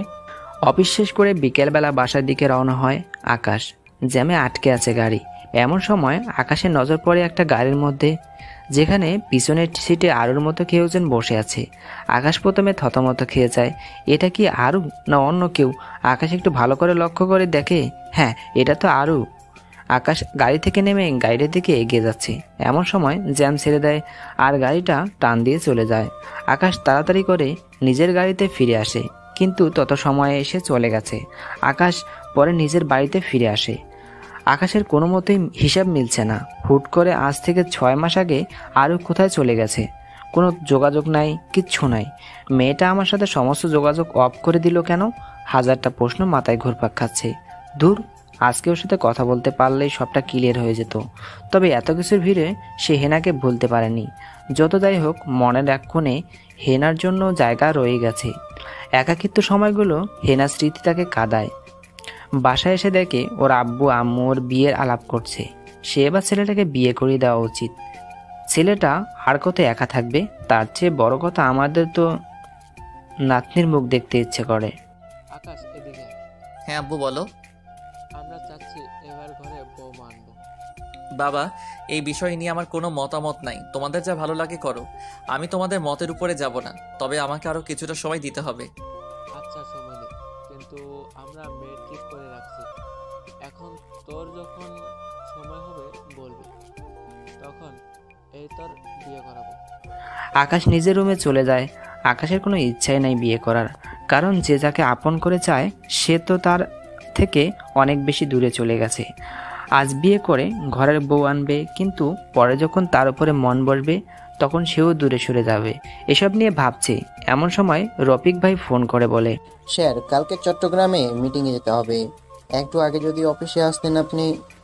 রফিক হচ্ছে অফিসের ম্যানেজার। আচ্ছা সমস্যা নেই আমি আগে চলে আসব। স্যার একদিনে হয়তো আসা যাবে না। আপনি একদিনের প্ল্যান করে বাসা থেকে আসবেন প্লিজ। ওকে। বলেই ফোন রেখে দেয়। পরের দিন তাড়াতাড়ি করে উঠে নাস্তা করে নেয়। আর ওর আব্বুকে বলে আজ চট্টগ্রাম যেতে হবে অফিসের মিটিংয়ের জন্য। আজ হয়তো বাড়ি ফিরবো না। বাড়ি ফিরতে হয়তো কাল হবে। আচ্ছা সমস্যা নেই। সাবধানে যাও। আকাশ সাথে সাথে এক চুট কাপড় ব্যাগে নিয়ে অফিসের জন্য রওনা দেয়। দশটার ফ্লাইটে তারা চট্টগ্রামের উদ্দেশ্যে রওনা দেবে। আকাশের সাথে যাবে নুসরাত। আকাশ অফিসে এসে ফাইলগুলো একবার দেখে নেয় তারপর যাত্রা করে চট্টগ্রামের উদ্দেশ্যে। দুইটাই মিটিং তারা বিমানে করে যাওয়ার বারোটার মধ্যেই পৌঁছে যায়। হোটেল আগে থেকেই বুক করা আছে। তাই তারা সোজা এসে হোটেলে উঠে। এই হোটেলেই মিটিং হবে। পরে তারা কিছুটা সময় বিশ্রাম করে দুইটা বাজে মিটিং করে। ওদের সাথে ডিল কনফার্ম করে। পরে চারটায় মিটিং শেষ হয়। এরপর কি করবে? হোটেল থেকে বসে বোরিং লাগছে। এই নুসরাত চলো সমুদ্র সৈকত থেকে ঘুরে আসি।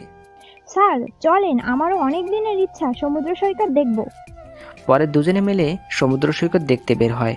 নুসরাত তো সমুদ্র দেখতে পেয়ে সে মাটিতে নেমে পড়েছে। সে তো মহা খুশি। অন্যদিকে আকাশ চুপচাপ একটা পাথরের উপর বসে আছে আর সমুদ্রের সৌন্দর্য উপভোগ করছে। এমন সময় পাশে অনেক চেঁচামেচির আওয়াজ কানে আসে। আকাশ লক্ষ্য করে অনেকগুলো মানুষ জড়ো হয়ে হই হুল্লোড় করছে। আকাশে দৌড়ে যায় কি হয়েছে? সেটা দেখার জন্য। একজন থেকে জিজ্ঞেস করলে ভাই কি হয়েছে? সে বলে ভাই মাইয়া পুয়াগো মাথা ঘুরিয়া পড়িয়া গেছে। চিটাগাংয়ের ভাষা। মানে মেয়েটা একটা মাথা ঘুরে পড়ে গেছে। আকাশ মানুষজন ঠেলে সামনে এগিয়ে যায় মেয়েটাকে দেখার জন্য। সে যা দেখে তাতে তার কলিজা মোচড় দিয়ে ওঠে। আকাশের চোখ বড় বড় হয়ে যায় বেহুশ হওয়া মেয়েটাকে দেখে। সে দেখতে পায় হেনা বেহুশ হয়ে মাটিতে পড়ে আছে। আকাশের তো মাথায় কাজ করছে না। হেনা জীবিত হলো কি করে? সে তো মারা গিয়েছে। ওর লাশকে আমি আকাশ ঝাপটে ধরে কান্না করেছি। ইম্পসিবল মরা মানুষ জীবিত হয় কি করে? না আমার কি কোথাও ভুল হচ্ছে? সে নিজেকে চিমটি দিয়ে দেখে না সে ব্যথা অনুভব করছে। তার মানে কি হেনা জীবিত? তাও আবার আমার চোখের সামনে? সবাই দাঁড়িয়ে দাঁড়িয়ে সিনেমা দেখছে কেউ সাহায্যের জন্য এগিয়ে আসছে না। এই ভাই আপনার দাঁড়িয়ে দাঁড়িয়ে কি দেখছেন? প্লিজ আমার সাথে কেউ একটু হেল্প করুন। আমি মেয়েটাকে হসপিটালে নিয়ে যাব। একজন বলে ওঠে ভাই আপনি মেয়েটাকে চিনেন? আপনার রিলেটিভ এমন কিছু হয় নাকি? আকাশ বেশি কিছু বলল না। শুধু এটাই বলব। ওর সাথে আমার আত্মার সম্পর্ক। এবার বুঝে নেন ওকে আমি চিনি কি চিনি না। আকাশ হেনাকে কোলে করে তুলে নিয়ে একটা সিএনজি দাঁড় করায়। এই ভাই আশেপাশে কোনো হসপিটাল থাকলে প্লিজ ইমার্জেন্সি আমাকে নিয়ে চলুন। ড্রাইভার সিটাগাং সাউদার্ন মেডিকেল কলেজের সামনে দাঁড় করায় গাড়ি। আকাশ ভাড়া চুকিয়ে হেনাকে নিয়ে কোলে করে হসপিটালের ভেতরে ঢুকে। আকাশ নার্স একজনকে দেখতে পেয়ে এই যে সিস্টার প্লিজ একটু দেখুন তোর কি হয়েছে। নার্স ওয়ার্ড বয় একজনকে ডেকে হেনাকে কেবিনে শিফট করায়। আকাশ পাশে একটা চেয়ারে বসে আছে। একটু পর নার্সটা কেবিন থেকে বেরিয়ে আসে।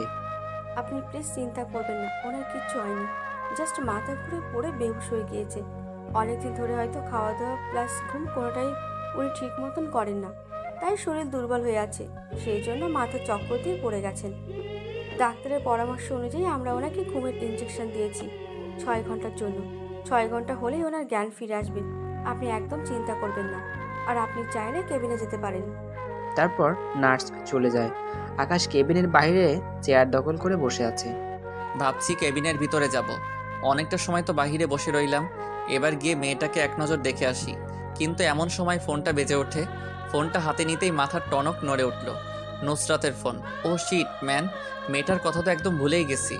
মেয়েটাকে যে একা ফেলে রেখে চলে এসেছি সেটা আমার মাথায় ছিল না। স্যার আপনি কোথায়?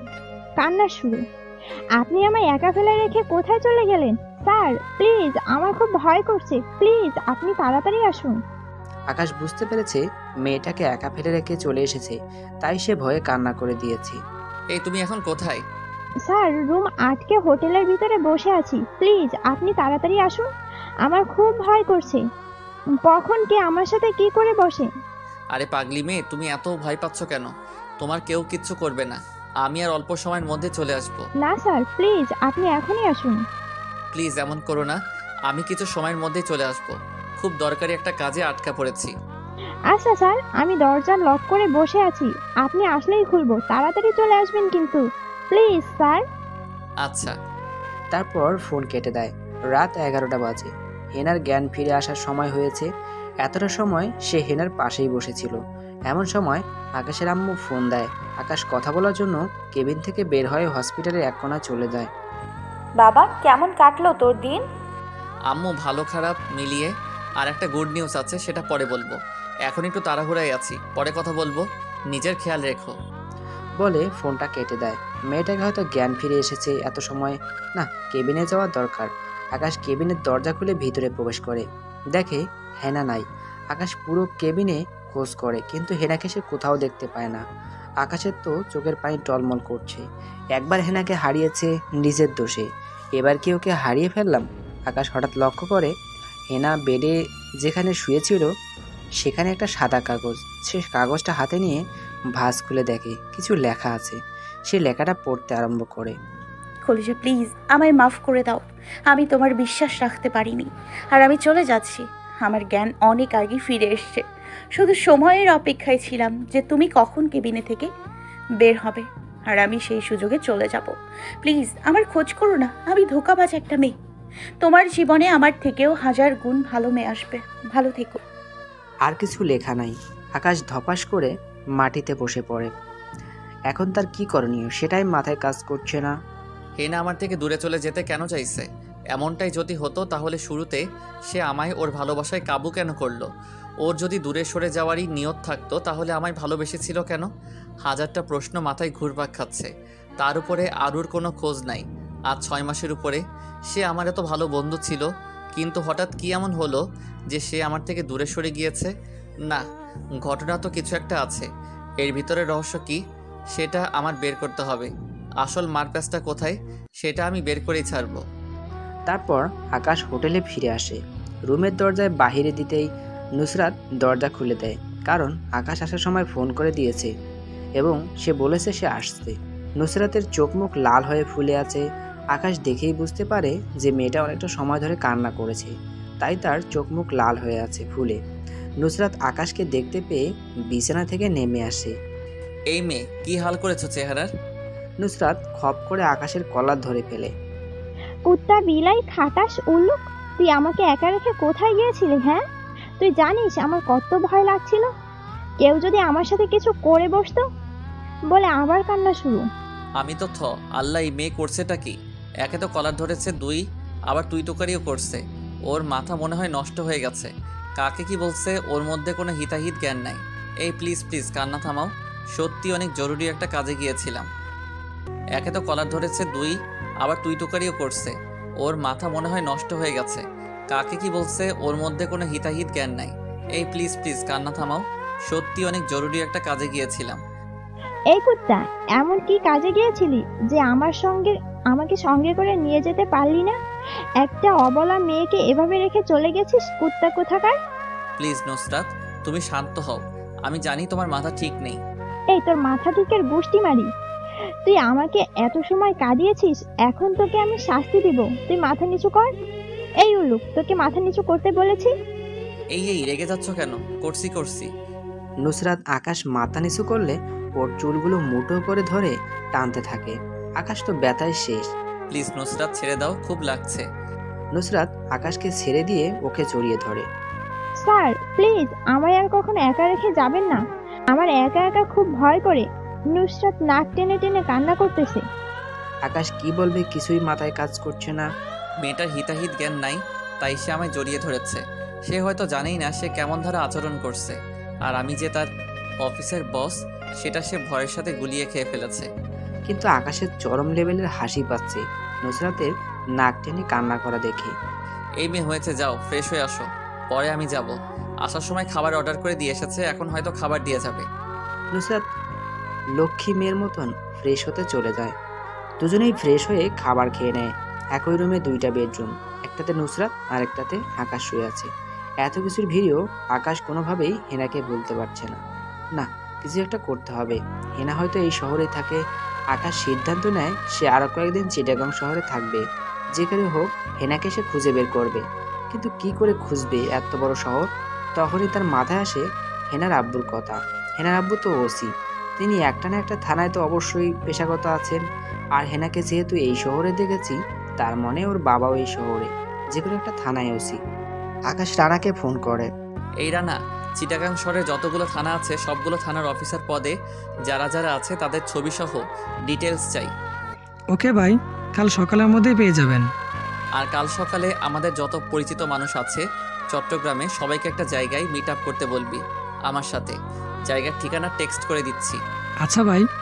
তারপর আকাশ ফোন কেটে দেয়। সকালবেলা ঘুম থেকে ওঠার আগেই হোটেলে একটা বয় এসে খাবার দিয়ে চলে যায়। একটা ফাইলও দিয়ে যায়। আকাশ ফ্রেশ হয়ে এসে ফাইলটা ঘাঁটতে আরম্ভ করে। ফাইলটা রানা পাঠিয়েছে লোক দিয়ে।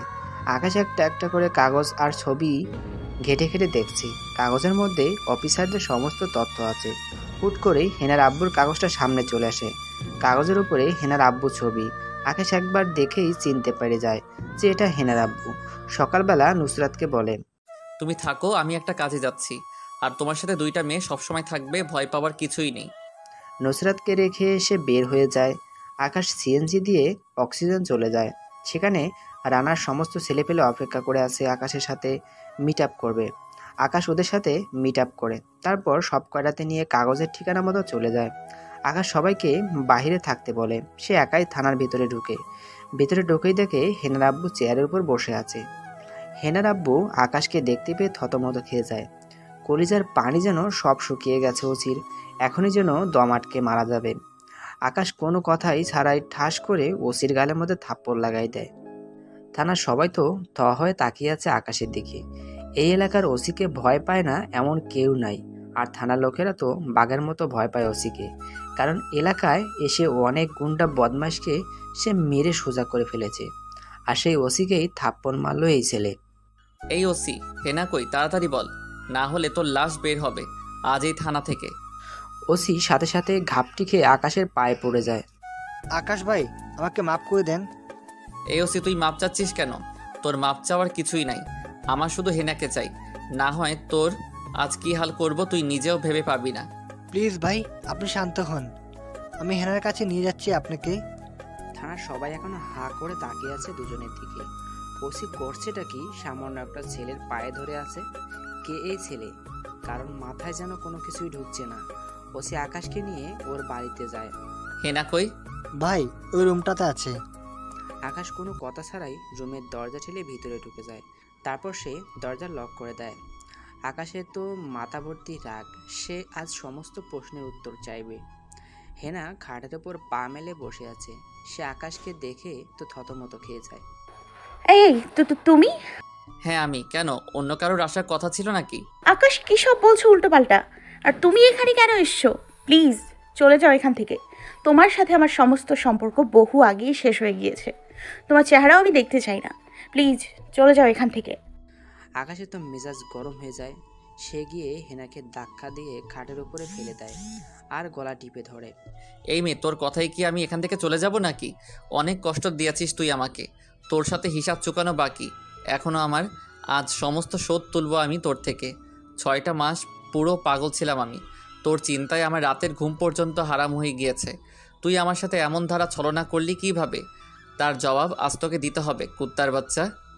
আকাশ হেনেকে ছেড়ে দিয়ে কোমর থেকে বেল খুলতে আরম্ভ করে। তার শরীর থেকে আজ আমি হাড্ডি, মাংস আলাদা করে ফেলব। হেনে তো ওই অবস্থায় ওই খাটের উপরে জড়সড় হয়ে পড়ে আছে। চোখ দিয়ে টপ টপ করে পানি ঝরছে। কি করণীয় এখন তার? কিছুই বুঝে উঠতে পারছে না। আকাশ বেলটা খুলে হাতে নিয়ে হেনাকে ইচ্ছে মতো মারতে আরম্ভ করে। হেনা ব্যথার ধারণায় মুখ চেপে কান্না করছে আর আকাশের কাছে মিনতি করছে। প্লিজ আকাশ আমায় ছেড়ে দাও। আমার খুব কষ্ট হচ্ছে। কিন্তু না আকাশের ছাড়ার কোনো নামগন্ধ নাই। সে আজ মানুষ থেকে পশুতে রূপান্তরিত হয়েছে। সে হেনাকে বেল দিয়ে মেরেই চলেছে। বেল্টের বাড়ি চোটে হেনার শরীরে বিভিন্ন স্থান থেকে ফেটে রক্ত বের হচ্ছে। ঠোঁট তো কেটে রক্ত দিয়ে লাল হয়ে গিয়েছে। একদম হেনার বাবা মা বাহির থেকে মিনতি করছে।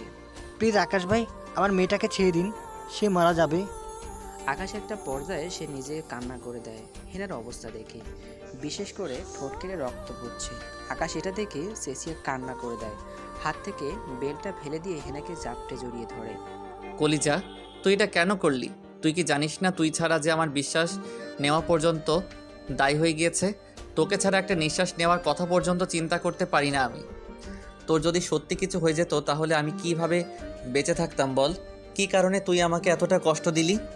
হেনাও কান্না করছে আকাশকে জড়িয়ে ধরে? কলিজা এমনটা করেছি বলে আজ তুমি জীবিত আছো না হয় তোমাকেও মেরে ফেলতো। তোমার ভালোর জন্যই আমি এমন একটা নাটক করে তোমার থেকে দূরে সরে গিয়েছি। কারণ তোমার ক্ষতি হোক এটা আমি চাই না। দরকার হয় দূরে থেকে ভালোবাসবো। তাও তোমার ক্ষতি হতে দেই কি করে বলো? হে না তুমি কি বলছো? আমার তো কিছুই মাথায় ঢুকছে না। কিসের ক্ষতির কথা বলছো? আর আমাকে কে মেরে ফেলতো? হেনা চুপ করে আছে। প্লিজ হেনা বলো। এভাবে চুপ করে থেকো না। কে আমায় মারতে চায়? যার জন্য তুমি আমার থেকে এত দূরে এসে গিয়েছো? হেনা আকাশকে ছেড়ে দিয়ে। শোনো তাহলে। তোমাকে শুরু থেকে সমস্তটা বলি আরও তোমায় মেরে ফেলতে চায় আকাশে তো হুশ উড়ে যায় হেনার কথা শুনে। কি বলছো হেনা? এটা কি করে সম্ভব? আর আরই বা আমাকে কেন মারতে চাইবে? কারণ তুমি জাফর ইকবালের নাম শুনেছ যিনি বাংলাদেশের টপ বিজনেসম্যান ছিল। একটা সময় যাকে তোমার বাবা টক্কর দিয়ে প্রথম পজিশন দখল করেছে। হ্যাঁ চিনি কিন্তু ওনার সাথে আরুর সম্পর্ক কি? আর জাফর ইকবাল তো মারা গিয়েছেন। আরুকে জানো? আরু হচ্ছে জাফর ইকবাল সাহেবের মেয়ে। সে তোমার উপরে প্রতিশোধ নিতে চায়। আকাশে তো চোখ বড় বড় হয়ে যায় হেনার কথা শুনে। কিন্তু কেন? আমি ওর কি ক্ষতি করেছি? তুমি ক্ষতি করনি কিন্তু তোমার বাবা করেছে। জাফর ইকবাল সাহেব দীর্ঘ বহু বছর দেশের মধ্যে টপ বিজনেসম্যানের তালিকায় ছিল, যাকে তোমার বাবা হারিয়ে দিয়ে প্রথম পজিশন দখল করে। এটা জাফর ইকবাল সাহেবের সহ্য হয়নি। তেনার থেকেও শীর্ষে উঠে পৌঁছে গেছে, এটা তিনি মানতেই পারেনি, যার কারণে তিনি ডিপ্রেশনে চলে যায়। পরে একটা সময় দেখা যায়, তিনি অতিরিক্ত ডিপ্রেশনে যাওয়ার ফলে হার্ট অ্যাটাক করে মারা যায়। ওনার বাসা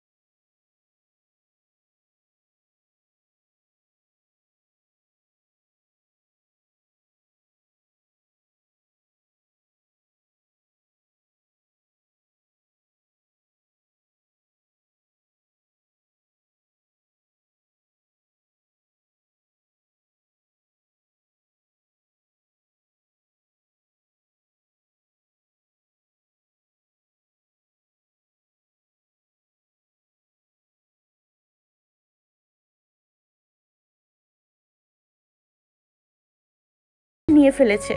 তোমার জীবন থেকে আমাকে একদম চিরতরে সরিয়ে দিয়ে তো কান্নার চোখগুলো খোলাটে হয়ে আসছে। হেনার কথা শুনে হেনা তুমি আমার ভালোর জন্য এত কিছু করলে? আর সেই আমি তোমাকে না জেনে বেরেহেমভাবে বেল্ট দিয়ে মারলাম। কলিজা আমায় মাফ করে দাও। এই আকাশ কি বলছো এসব? প্লিজ এভাবে বলো না আবার খুব কষ্ট হয়। আকাশ সাথে সাথে হেনাকে চাপড়ে ধরে নিজের পাউডারে আবদ্ধ করে নেয়। আর বলে কলিজা এই দুনিয়ায় আমার থেকে তোকে কেউ আলাদা করতে পারবে না। তুই শুধু আমার আর কারণ না। তোর সমস্ত কিছুর উপরে শুধু আমার অধিকার আছে আর কারোর কোনো অধিকার নাই। দুজনেই কান্না করছে। তবে হ্যাঁ এটা কোনো দুঃখের কান্না না এটা সুখের কান্না। তবে ভিতরে ভিতরে আকাশের ক্ষোভ জন্ম নিয়েছে। সে আরও বারোটা বাজিয়ে ছাড়বে। আরও তুই খালি ওয়েট কর। তুই আমার জীবনের সুন্দর দিনগুলো নষ্ট করেছিস। আমার জীবন থেকে সুখ কেড়ে নিতে চেয়েছিস। এবার আমি তোর রুহুটাই শরীর থেকে বের করে ফেলব। আকাশ হেনাকে ছেড়ে দিয়ে ওকে কোলে তুলে নেয়। চলো। আমার সাথে আজকের পর তোমাকে এক মিনিটের জন্যও চোখ থেকে আড়াল করব না। আকাশ হেনাকে কোলে করে নিয়েই রুম থেকে বের হয়। হেনাও আকাশকে জড়িয়ে ধরে ওর কোলের মধ্যে ছোট বাচ্চার মতো জড়সড় হয়ে আছে।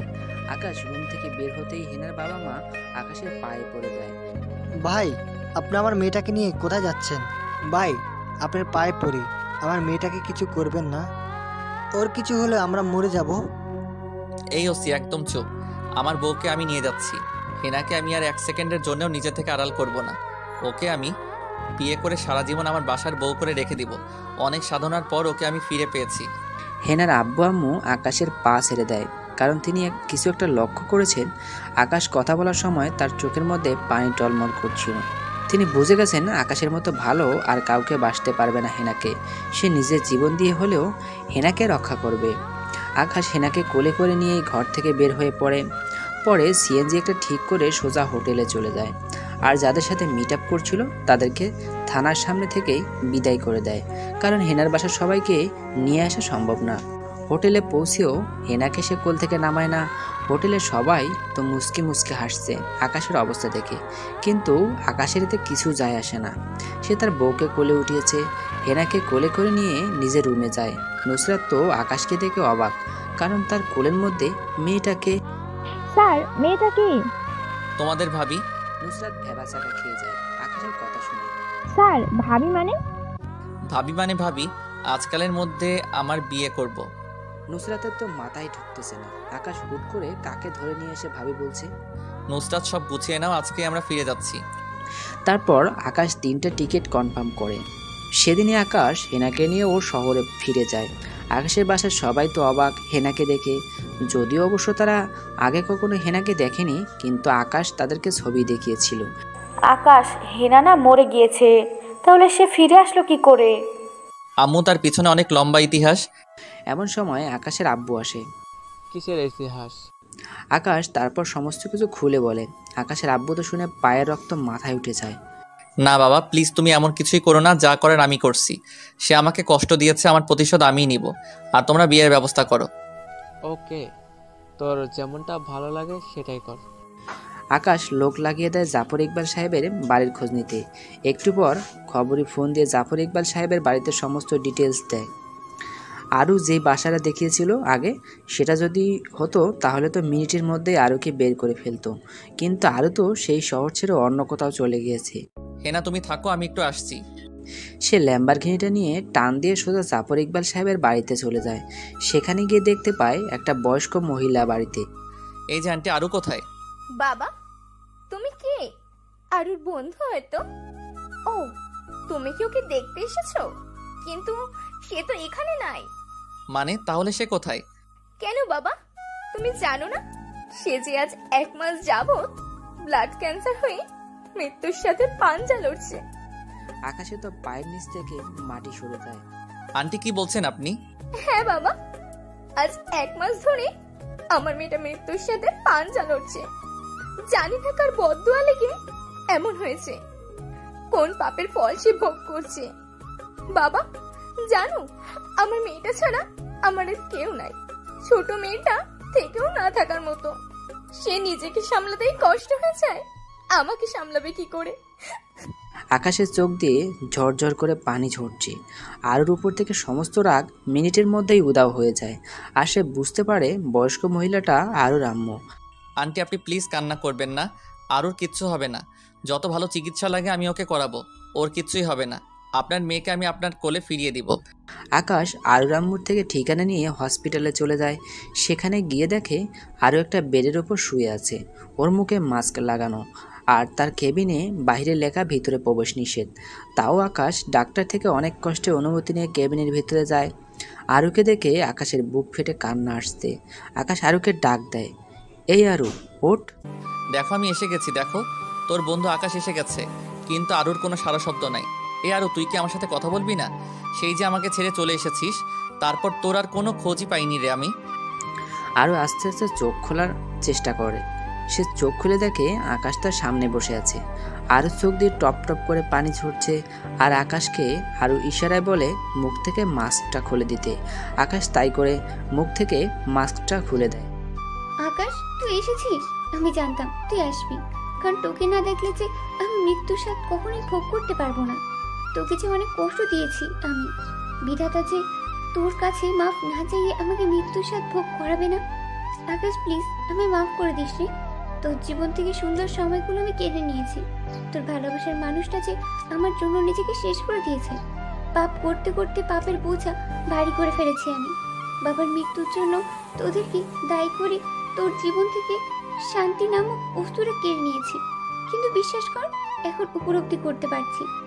যে কারণ মৃত্যুর জন্য কেউ দায়ী থাকে না। উপরওয়ালার যখন হুকুম থাকি, তখনই তার মৃত্যু হয়। আমি জানি না, তোর কাছে কীভাবে মাফ চাইব? তুই আমাকে ক্ষমা করবি কিন্তু বিশ্বাস কর, তুই যদি আমায় মাফ না করিস, তাহলে উপরে কেউ শান্তি পাবো না। এই পাগলি মেয়ে, এসব কি বলছিস উল্টাপাল্টা? তোর উপরে আমার কোনো রাগই নাই। আমি সমস্ত কিছু ভুলে গিয়েছি, আর হেনা মরেনি, সে ফিরে এসেছে। সে তোর কথায় আমার থেকে দূরে সরে গিয়েছে এমন একটা নাটক করে। আর এখন সমস্ত কথা বাদ তোকে আগে সুস্থ হতে হবে।